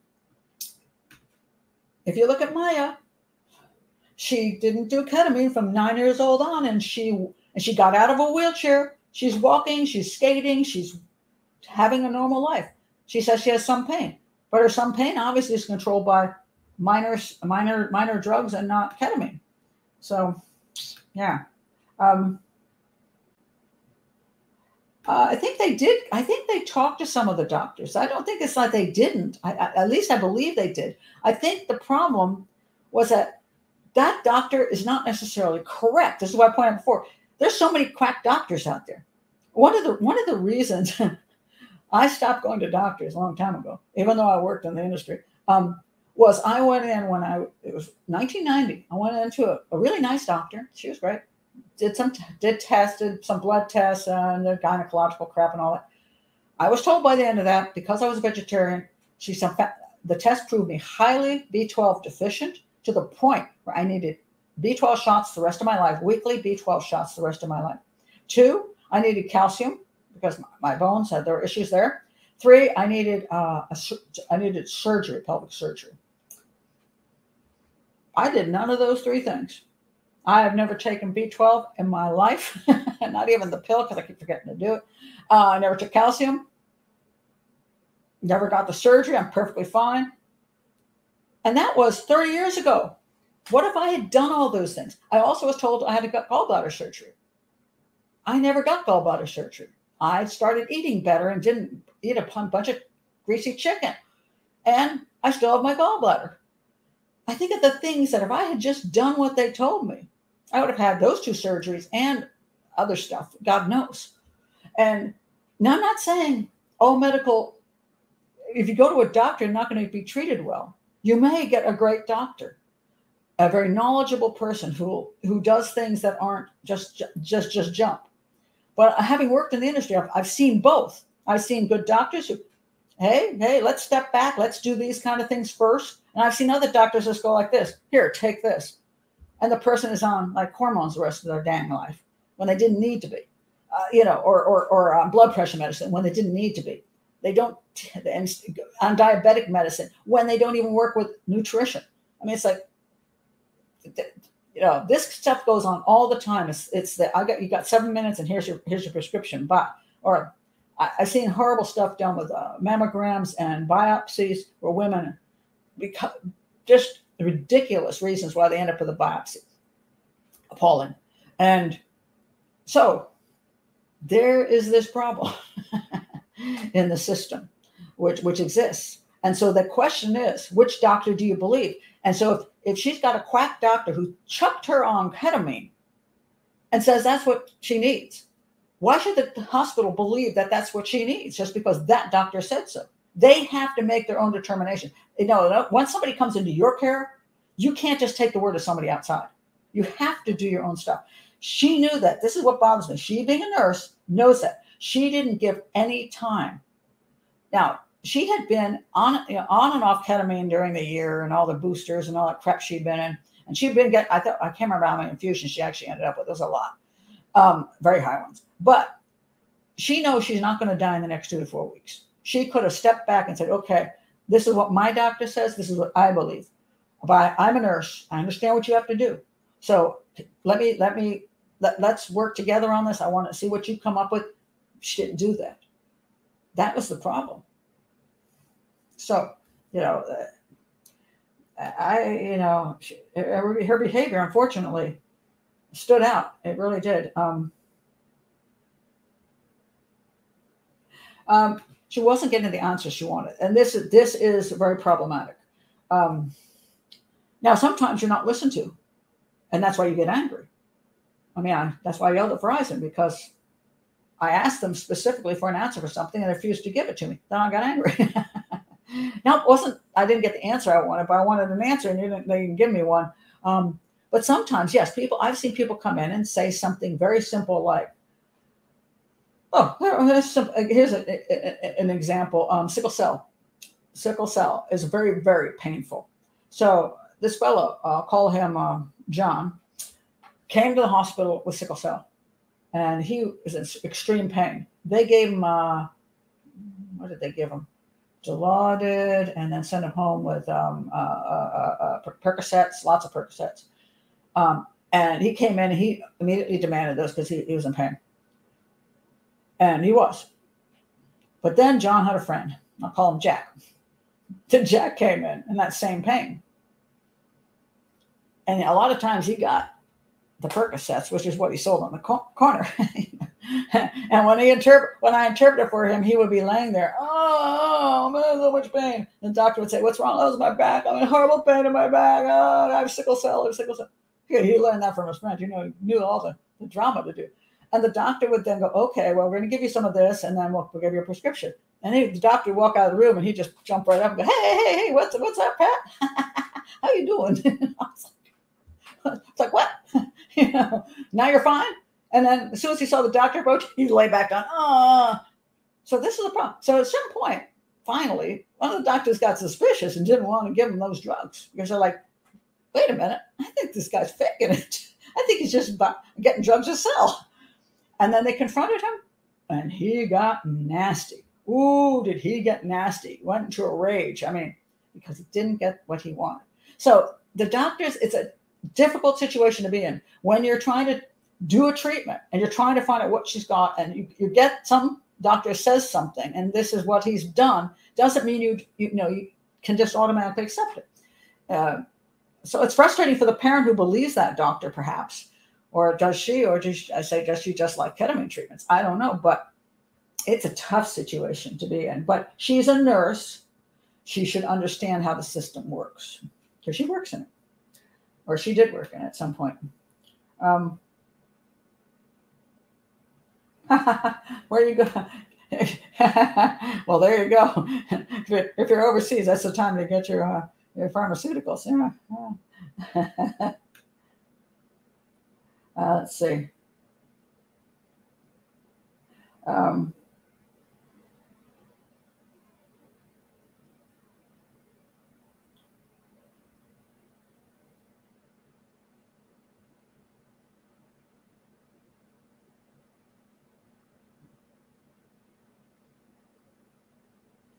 So I, know, Sarah, you you have you have the same condition. You've gone through a lot.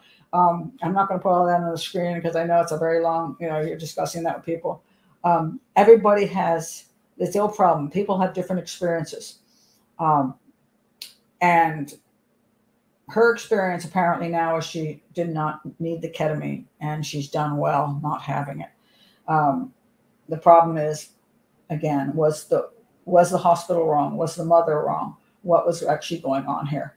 Um, and did the hospital have the right at that point to refuse the ketamine and to get a, a custody so that they could figure out what was wrong with her without the influence of the mother? They believed the mother was influenced.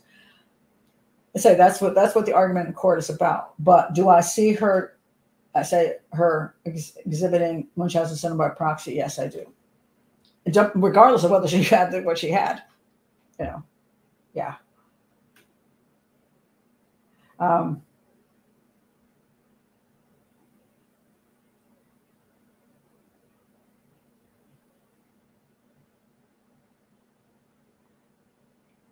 uh, let's see.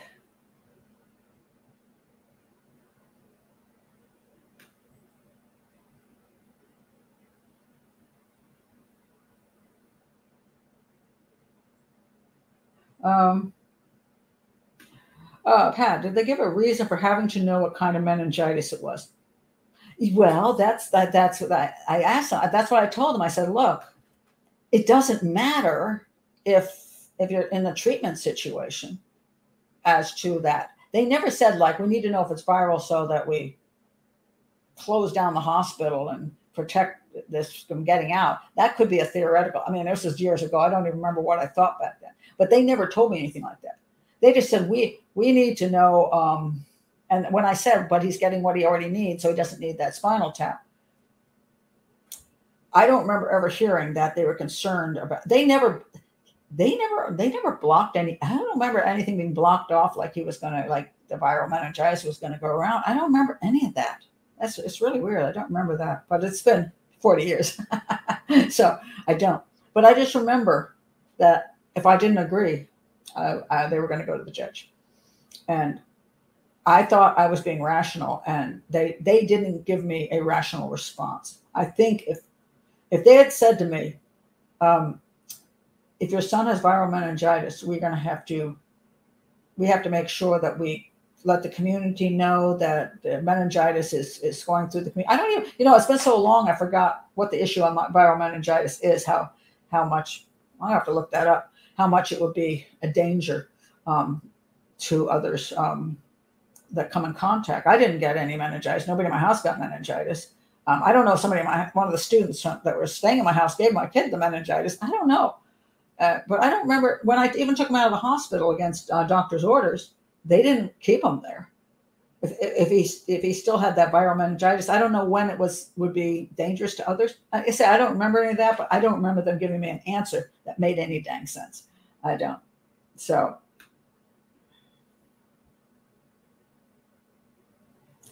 Oh, um, I, I, approve of him a lot more when he doesn't do uh, crime scene analysis. I think a lot of his crime scene analysis is off. I still I still appreciate his humor, but yeah, um, and and I don't have a problem with him with the psychological stuff. Some people say, "Oh, he's he's not a psychiatrist." No, he's a therapist. But so what? You basically learn the same crap. So I, I just think that kind of stuff is nonsense. But, but I do I do get a kick out of him sometimes. I do.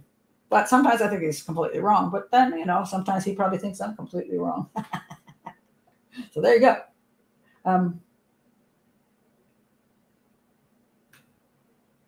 uh,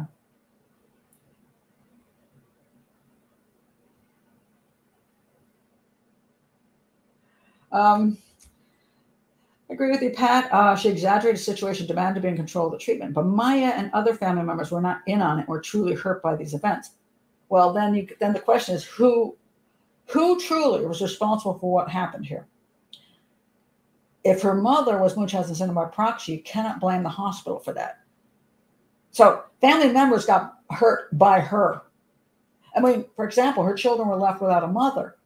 Did she not do that did she not do that to her kids her husband was left without a wife did she not do that to him she she made it about herself she says i can't I can't be, I can't watch her be in pain. I'm okay with, she's got to be in pain, but I can't watch it. Well, she's watched it for a year. She couldn't give it three weeks. That doesn't make sense to me. So she's saying that if her, she kept telling her be strong, bear bear it all, be strong, be strong, but she can't do three weeks. So, and then she says it's about me being, being called a criminal. She, it, her choice was about her, not her family. So she is the one who ended up harming her family. That's on her. And the hospital, yeah. Again, do, are they are they good at what they do? I don't know. I wasn't there. Supposedly they were trying to get her into the other other uh, uh, facility to get the treatment she needed, and I, I don't know. I we'll see. That might be that might play out in court when we can finally get information. It's very hard to get all the information because you don't only got the defense uh, the uh, the family side of it through the movie and only the family side of it through any of the documentation. They make claims. Don't know if the claims are true, but I, I do see what I see. And yeah, so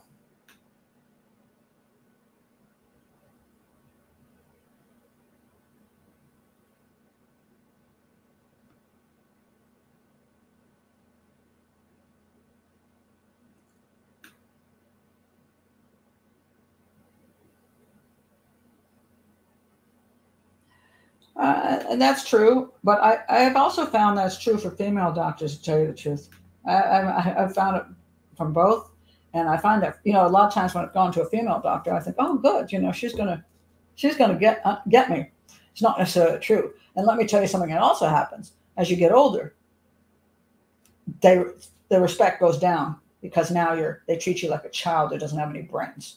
Oh, that poor little old lady, you know, that kind of crap. So that gets really annoying. it's it's it's I don't like the whole system. I mean, I don't I don't like the way the system's set up. I think it's outrageous. They they it's like they're like um, loan like loan sharks, you know, that come after you and will give you some treatment, but then you have to pay us back 20 times and lose your house. I think that's ridiculous. I think that they do so many treatments and so much uh, uh, uh, different testing purely for the insurance issues and for the money issues that drives me nuts. I mean, it's like, and you put people through a lot of stuff that sometimes causes them injury just because you're making money and insurance, and you've got to fill in the, the insurance form. This whole system is ridiculous. Um, it shouldn't be the way it is. It's it, you know, and we need to do something about it. But then on the other hand, the other problem we have is that people think no matter what their situation is, they want incredible services of all these fancy equipment, even if it's not going to help them any. And that costs a fortune. Somebody will run up a $2 million bill, one person who wasn't, who quite frankly wasn't going to make it anyway. Is that okay too? So, you know, it, it's just such a mess. The medical system has, it's almost like we live in a medical world. You can drive down the street and you've got dialysis dialysis centers on every corner, especially in poorer neighborhoods where people don't have good diets, and there's more drug and alcohol problems. Man, there's dialysis things on all the, all the corners. It's like, good lord, there's there's you know Popeyes over here and dialysis over here.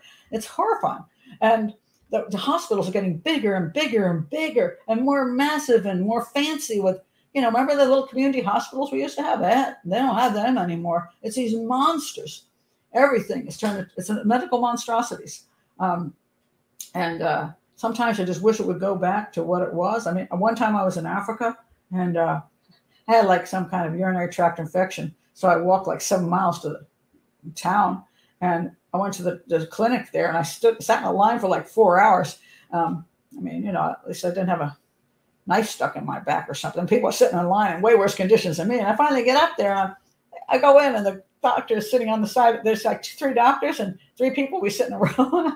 well, what's your problem? I think, well, a tract infection. He's like, okay. He goes, he hands me a Coke bottle. Coke bottle, some medicine been poured into it, and a little top had been, you know, rubber banded on. He says, okay, you just drink this. I'm like, that's interesting work. But anyway, no, um, it was kind of like nice because I'm sure today if I went there, I have to pee in the cup, and then I, want to do all kinds of other things, and oh my god, and then that would cost me like, let's say I went to the emergency room with that, I'd probably end up with a eight hundred dollar bill, so I could pee in a cup, and they could hand me a thing of medicine, you know. We're, we're it's it's just it's a, it's a monstrosity, is what it is, absolute monstrosity and you never want to be in it. And sometimes it's hard to avoid getting stuck in it. And people who work in it, some of them are very, very good people, but they're also part of that machine. So it gets tricky. Um,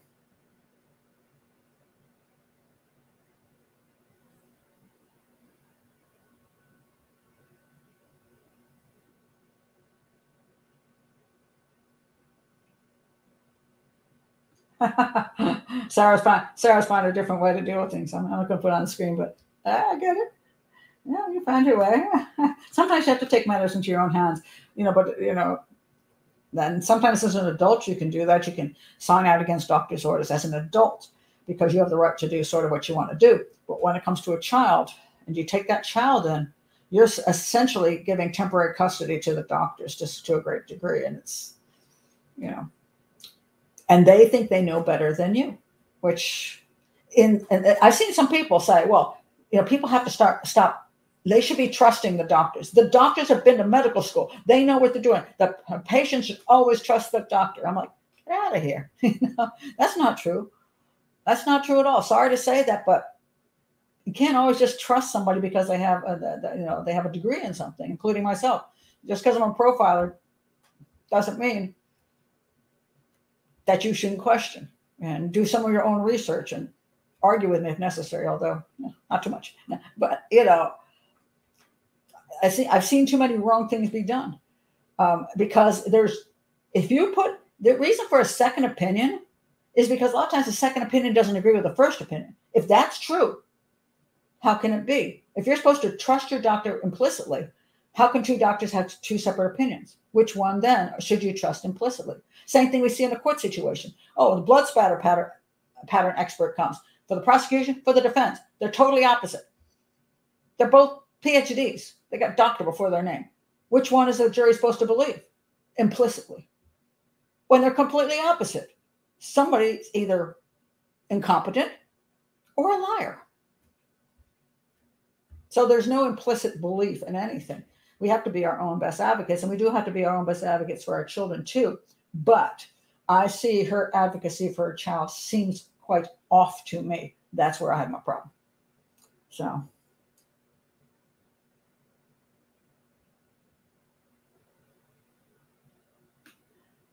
Let's see. Uh, you sign forms to give your your doctor permit. Yeah, so you gotta watch out for those forms. those suck. but um, yeah. Um, yeah, the family wants to blame someone. I can't accept that the mom is to blame for their pain. Well, there are a number of people that were probably to blame. One could be the doctor who started this, went with went along with her program with the um, with the the medic that extreme medication of ketamine that's one person one could blame, but they don't seem to blame him. Um, they blamed the social worker and and I think somebody else worked at the hospital. Somehow they they settled out of court on one, which I got a lot of money for, and then they the other one that gave that one up, and now they're going after the hospital because that's the big bucks. Um, and they didn't settle.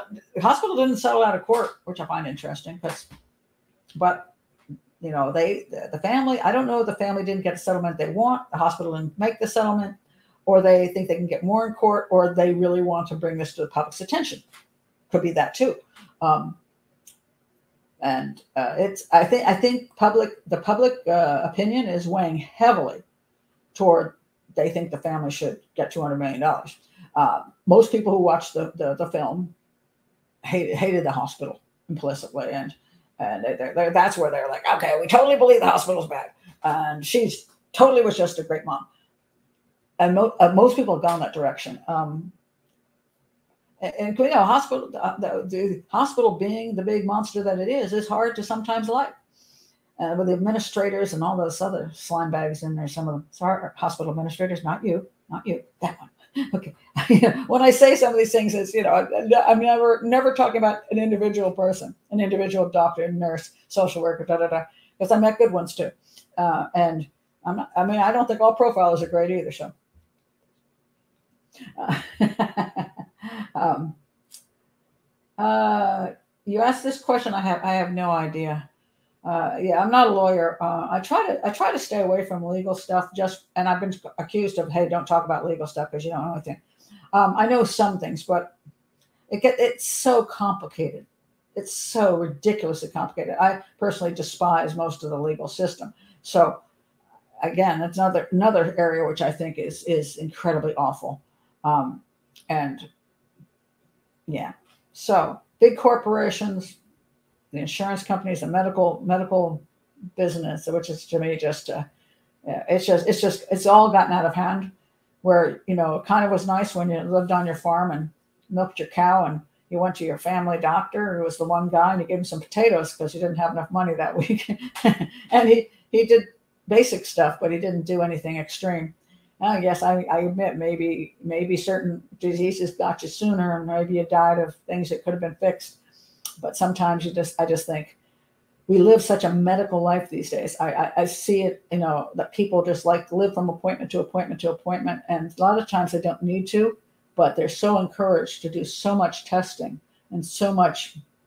That's why the, that's why the insurance is so bloody high too, because people are constantly going to the going to the doctor and getting way more than they need that, to get. They don't need all the stuff that is done to them. And I, I say I've since I, I sat through so many people who've been in the hospital, uh, going to the emergency room, uh, going to doctor's appointments, and I just sit there sometimes and shake my head and think, oh my God, this is like 90% unnecessary. But that's how they make money. That's how they make money. So Yeah. Um, so, mm, yeah. Oh, that's probably absolutely true. well, when you're talking about the word intensive, again, everything is so unreasonably high these days. Oh my God, I'm sure it is extremely expensive. Yeah, absolutely. Um, because you want to get anything done. You say, well, how much will this cost? Oh, that'll cost uh, $10,000 for two weeks. You're like, what the heck are you talking about? You know, um, it, you know, it, it can get so bad that like, you know, like let's say you've got like a, you got asthma problem, right? And you're like, ah, I'm feeling like I might have to go to the hospital and get a breathing treatment. But then you think about how much a breathing treatment is going to cost, right? So you know what some people do? They drive up to the door of the hospital, sit in the car, and wait it out. That way, if they're desperate, they can run in. But sometimes that part will pass and it'll, it'll go, it'll, they can get, they can man, it'll be managed over time and it'll lessen and then they can go, they sit there for hours and then just go home. Okay, I don't need to go in.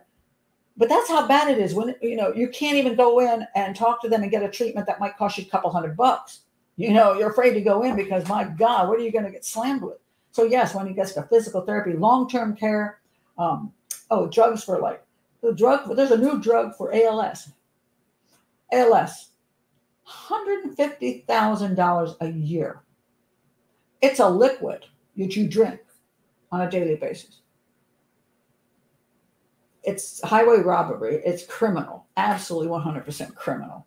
Just criminal. So, yeah, um, I, I, got nothing nice to say about the entire system. I, I don't. It's just, it is sad. And, and a lot of people, therefore, don't get treated for what they could be treated for. Uh, they can't get something reasonable because it's all or nothing. Um, because you have to fight for almost everything. It's like, okay, can you just do this and not do that? You know, um, but the answer to that is often no. We do it, we do it 100% our way, and you don't have any rights as a patient that is, is, is a big problem. And it's because we know more than you, and therefore, if we decide it has to be done, it should be done. And of course, that was true in this case. They just thought they had to do their own evaluations and test these things out and not give her the ketamine and did it. And were they right? In this instance, as far as a, a future treatment, I think they were. But for a parent who's in there, well, you know, let's say, let's let's take the Munchausen syndrome thing away from her and just say she's a concerned parent she sort of has to go along with the program, the plan, whatever the plan is. It's hard to fight, especially when it's a child. As an adult, you can adults can fight it, but I've even seen adults have a really hard time fighting this kind of thing because because you have people looking at you saying, "You need this. This has to be done," and people just cower in front of medical professionals, and they'll go along with so many things they should never go along with, just because they're being told to do it. Because once you walk in, you become like a child yourself. You've given up that power, and it, it's a creepy situation. That's why I. It, it's funny because I love interpreting, so I can walk into a medical facility feeling just fine. You know, hi everybody, what's up? And uh, oh, where's my where's where's my patient? Oh, hi, you know, and then I'm interpreting, everything's fine, going from room to room, and I'm I'm going to the x-ray and I'm, you know, sitting there helping that and, you know, that's fine. I go into surgery and I watch that. It's cool. You know, I can do all that. I feel great because I come in as an equal, not as that little, that little patient person down here. But if I have to walk in without working, I know when I work in, walk in, the first thing they say is, oh, look, she's a senior citizen. Oh look at her. What is she she probably doesn't know anything. And she probably she's probably one of those people that's really annoying too because you know senior citizens they just sometimes you know they're they're so difficult unless they're one of the sweet ones. You feel so belittled when you just walk in the door it, it, i just hate i hate it I absolutely hate it i can't i love just makes me want to throw up but i love working it's totally different feeling it's interesting oh my goodness uh, what? I'm not, don't go into anything political here. Okay. No politics on this channel as far as that goes. All right. I try to keep politics off the channel because then we get all that nasty stuff going on. People's different opinions on politics. So let's not do that. Uh, oh, oh, you don't look sick. Oh, oh, by the way, I, I have to ask you this, Sarah, because you will know this one. The pain thing, one to 10. And they show you all the pictures, you know. one is, and then by the middle, it's, by the end, it's, right? One to 10, right? You get most of the people come in there, like, like my, my patients, they walk in there, they're laughing and joking, and they say, Well, how is your pain level? And they're like, It's a 10. and you're like, I don't see them any pain at all, right? Because they're trying to get like drugs or something, whatever their issue is, or they just like to be dramatic. I come in, I came in with like like like a like real severe pain. Um, was that for the gallbladder attack or something like that? Oh no, no, I had a tubal pregnancy, and I was agonizing pain. And I came in to explain that. But then when they said, when I was there sitting there one to 10, well, I'm the type that will be very, very truthful. And like, I'm like thinking 10 is where I'm screaming and rolling around on the floor. So I'm not going to say 10. So maybe I would say I'm a six or something. And then they always assuming that when you say six, you really mean three. you know, so then they say, oh, you don't have any pain. You clearly don't have anything. And so it's like, it's, so on one hand, they don't believe people because people exaggerate. On the other hand, if you tell the truth, they still think it's exaggerating and think you have even less. So you can't win no matter what you do. What do you, what do you oh my God. Oh well, if I'm no, if I'm saying I'm nine, I look like a nine. Well, then you probably are being truthful because you really actually have all that severe pain. So, oh Lord, but that that would be that would be accurate, Benny. Something ten to me is like, yeah, ten to ten to me is, I don't know. Yeah, have to be have to be to me. See, that's where I put ten. A lot of people put ten at you know they have a stomach ache. You know, I've seen people with ten. You know, um, uh, let's see, uh, kidney stones. That's pretty. T- that a lot of times that's pretty tenish. You know, it really is. I mean, they're in such incredible pain. Uh, so there's reasons for a 10. And of course, people come in with their arm, you know, hanging off and stuff like that, and accidents. Yeah, but but uh, tubal pregnancy was pretty serious. And there was another case of stupidity because I went to the doctor. I, I, I had uh, I, I, had this severe pain, and then I the one of the possibilities because I I looked it up. I think I called. It was back in the old days. I called Giant Healthline and said you have severe pain, could be a tubal pregnancy. And I'm like, because I I thought, well, that's interesting. So I went and got a pregnancy test and it came back positive, and yet I hadn't had any symptoms of pregnancy. So I was really upset, and they thought I was upset at the pregnancy center because I wanted didn't want a child, and I'm like, no, it's because I think it's a tubal pregnancy. And so then I went to a top doctor, and he refused to give me a sonogram because he didn't. He thought I was exaggerating. And then, um, so I left his office, and I, I, called up my sister, who was a nurse, and she said, "Well, make sure you're not alone, and and go. I forgot what she told me to go the next day. I went and I thought, oh, I went back to the pregnancy center. They had a doctor there, and while I was there, my blood pressure dropped like a rock. And he said, take her straight to the hospital. To my husband, I went to the hospital, and I was in surgery, and I was, what was I, twelve weeks pregnant, fifteen weeks pregnant. Yeah, I never had another child after that. That was it. That wiped me out. But uh, yeah, I mean, I would have died if I that stupid doctor. And then I called that doctor up and I said, Do you know where I am? And he's like, Where? I'm like, I'm in the hospital. I just had I just had surgery for the tubal pregnancy. It just said I didn't have. I was pissed. Yeah. But see, didn't believe me because I didn't express things the right way, didn't beg the right way, didn't look pitiful, didn't ha- didn't come up with the right pain number. I don't even know, you know, what the issue was. I explained it to him. I said, "Look, I've had I've had a gallbladder attack in my life, which is agonizing, and I've also had a birth. This was worse than both of those. Chose not to believe me. That sucks, you know, but that's that's a problem. Um, yeah. Man flu is a 12. Oh, you women don't have any idea how bad that is. Benny's here under a pseudonym, which is a good thing for you, Benny. oh my God. Ooh, what? Wait, man, Wait, wait, wait, wait. I got cancer, labor. Yeah, they get up there. They definitely get up there. Yeah, those are some horrible things. Yes, that's for sure. And what was what was that one? Bone spurs shaped off your shoulder. that sounds great. Mm, no, definitely. It all depends whether, yeah. Mm, wow.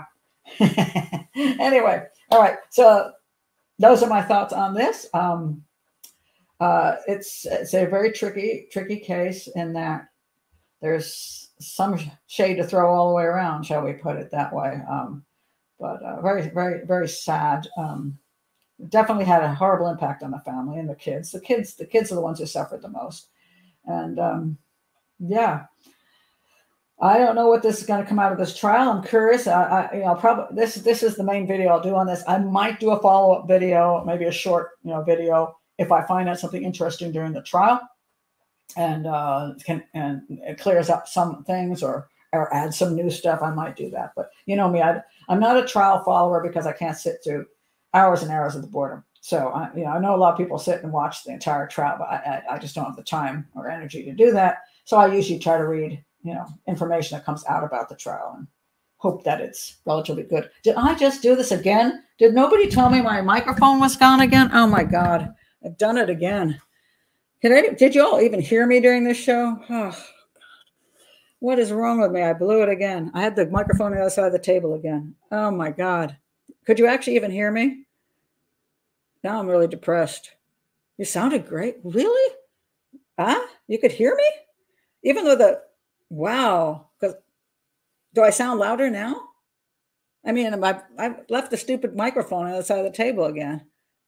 Huh. Well, God.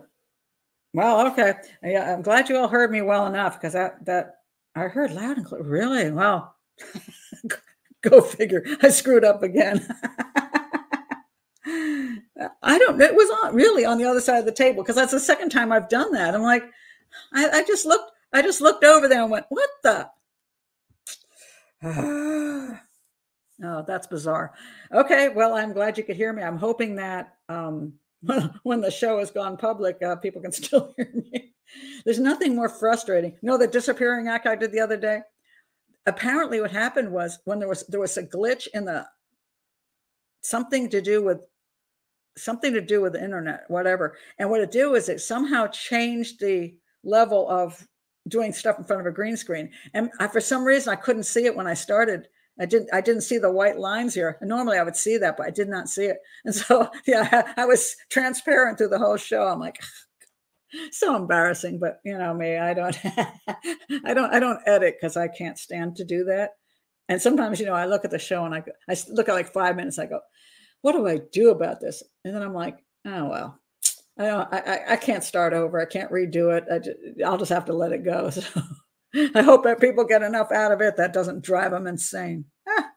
it's like, and I didn't know what you guys were even really talking about. I couldn't really see it on this end. I was like, but you know, then it was funny because the next time I sat down to do the show, I could see everything the white lines i kept changing the picture and i could see different things you know i'm like oh my god what happened and there, there's a little cursor well like, i don't know what you want to call it you know, and it has different numbers. It's like this is 48.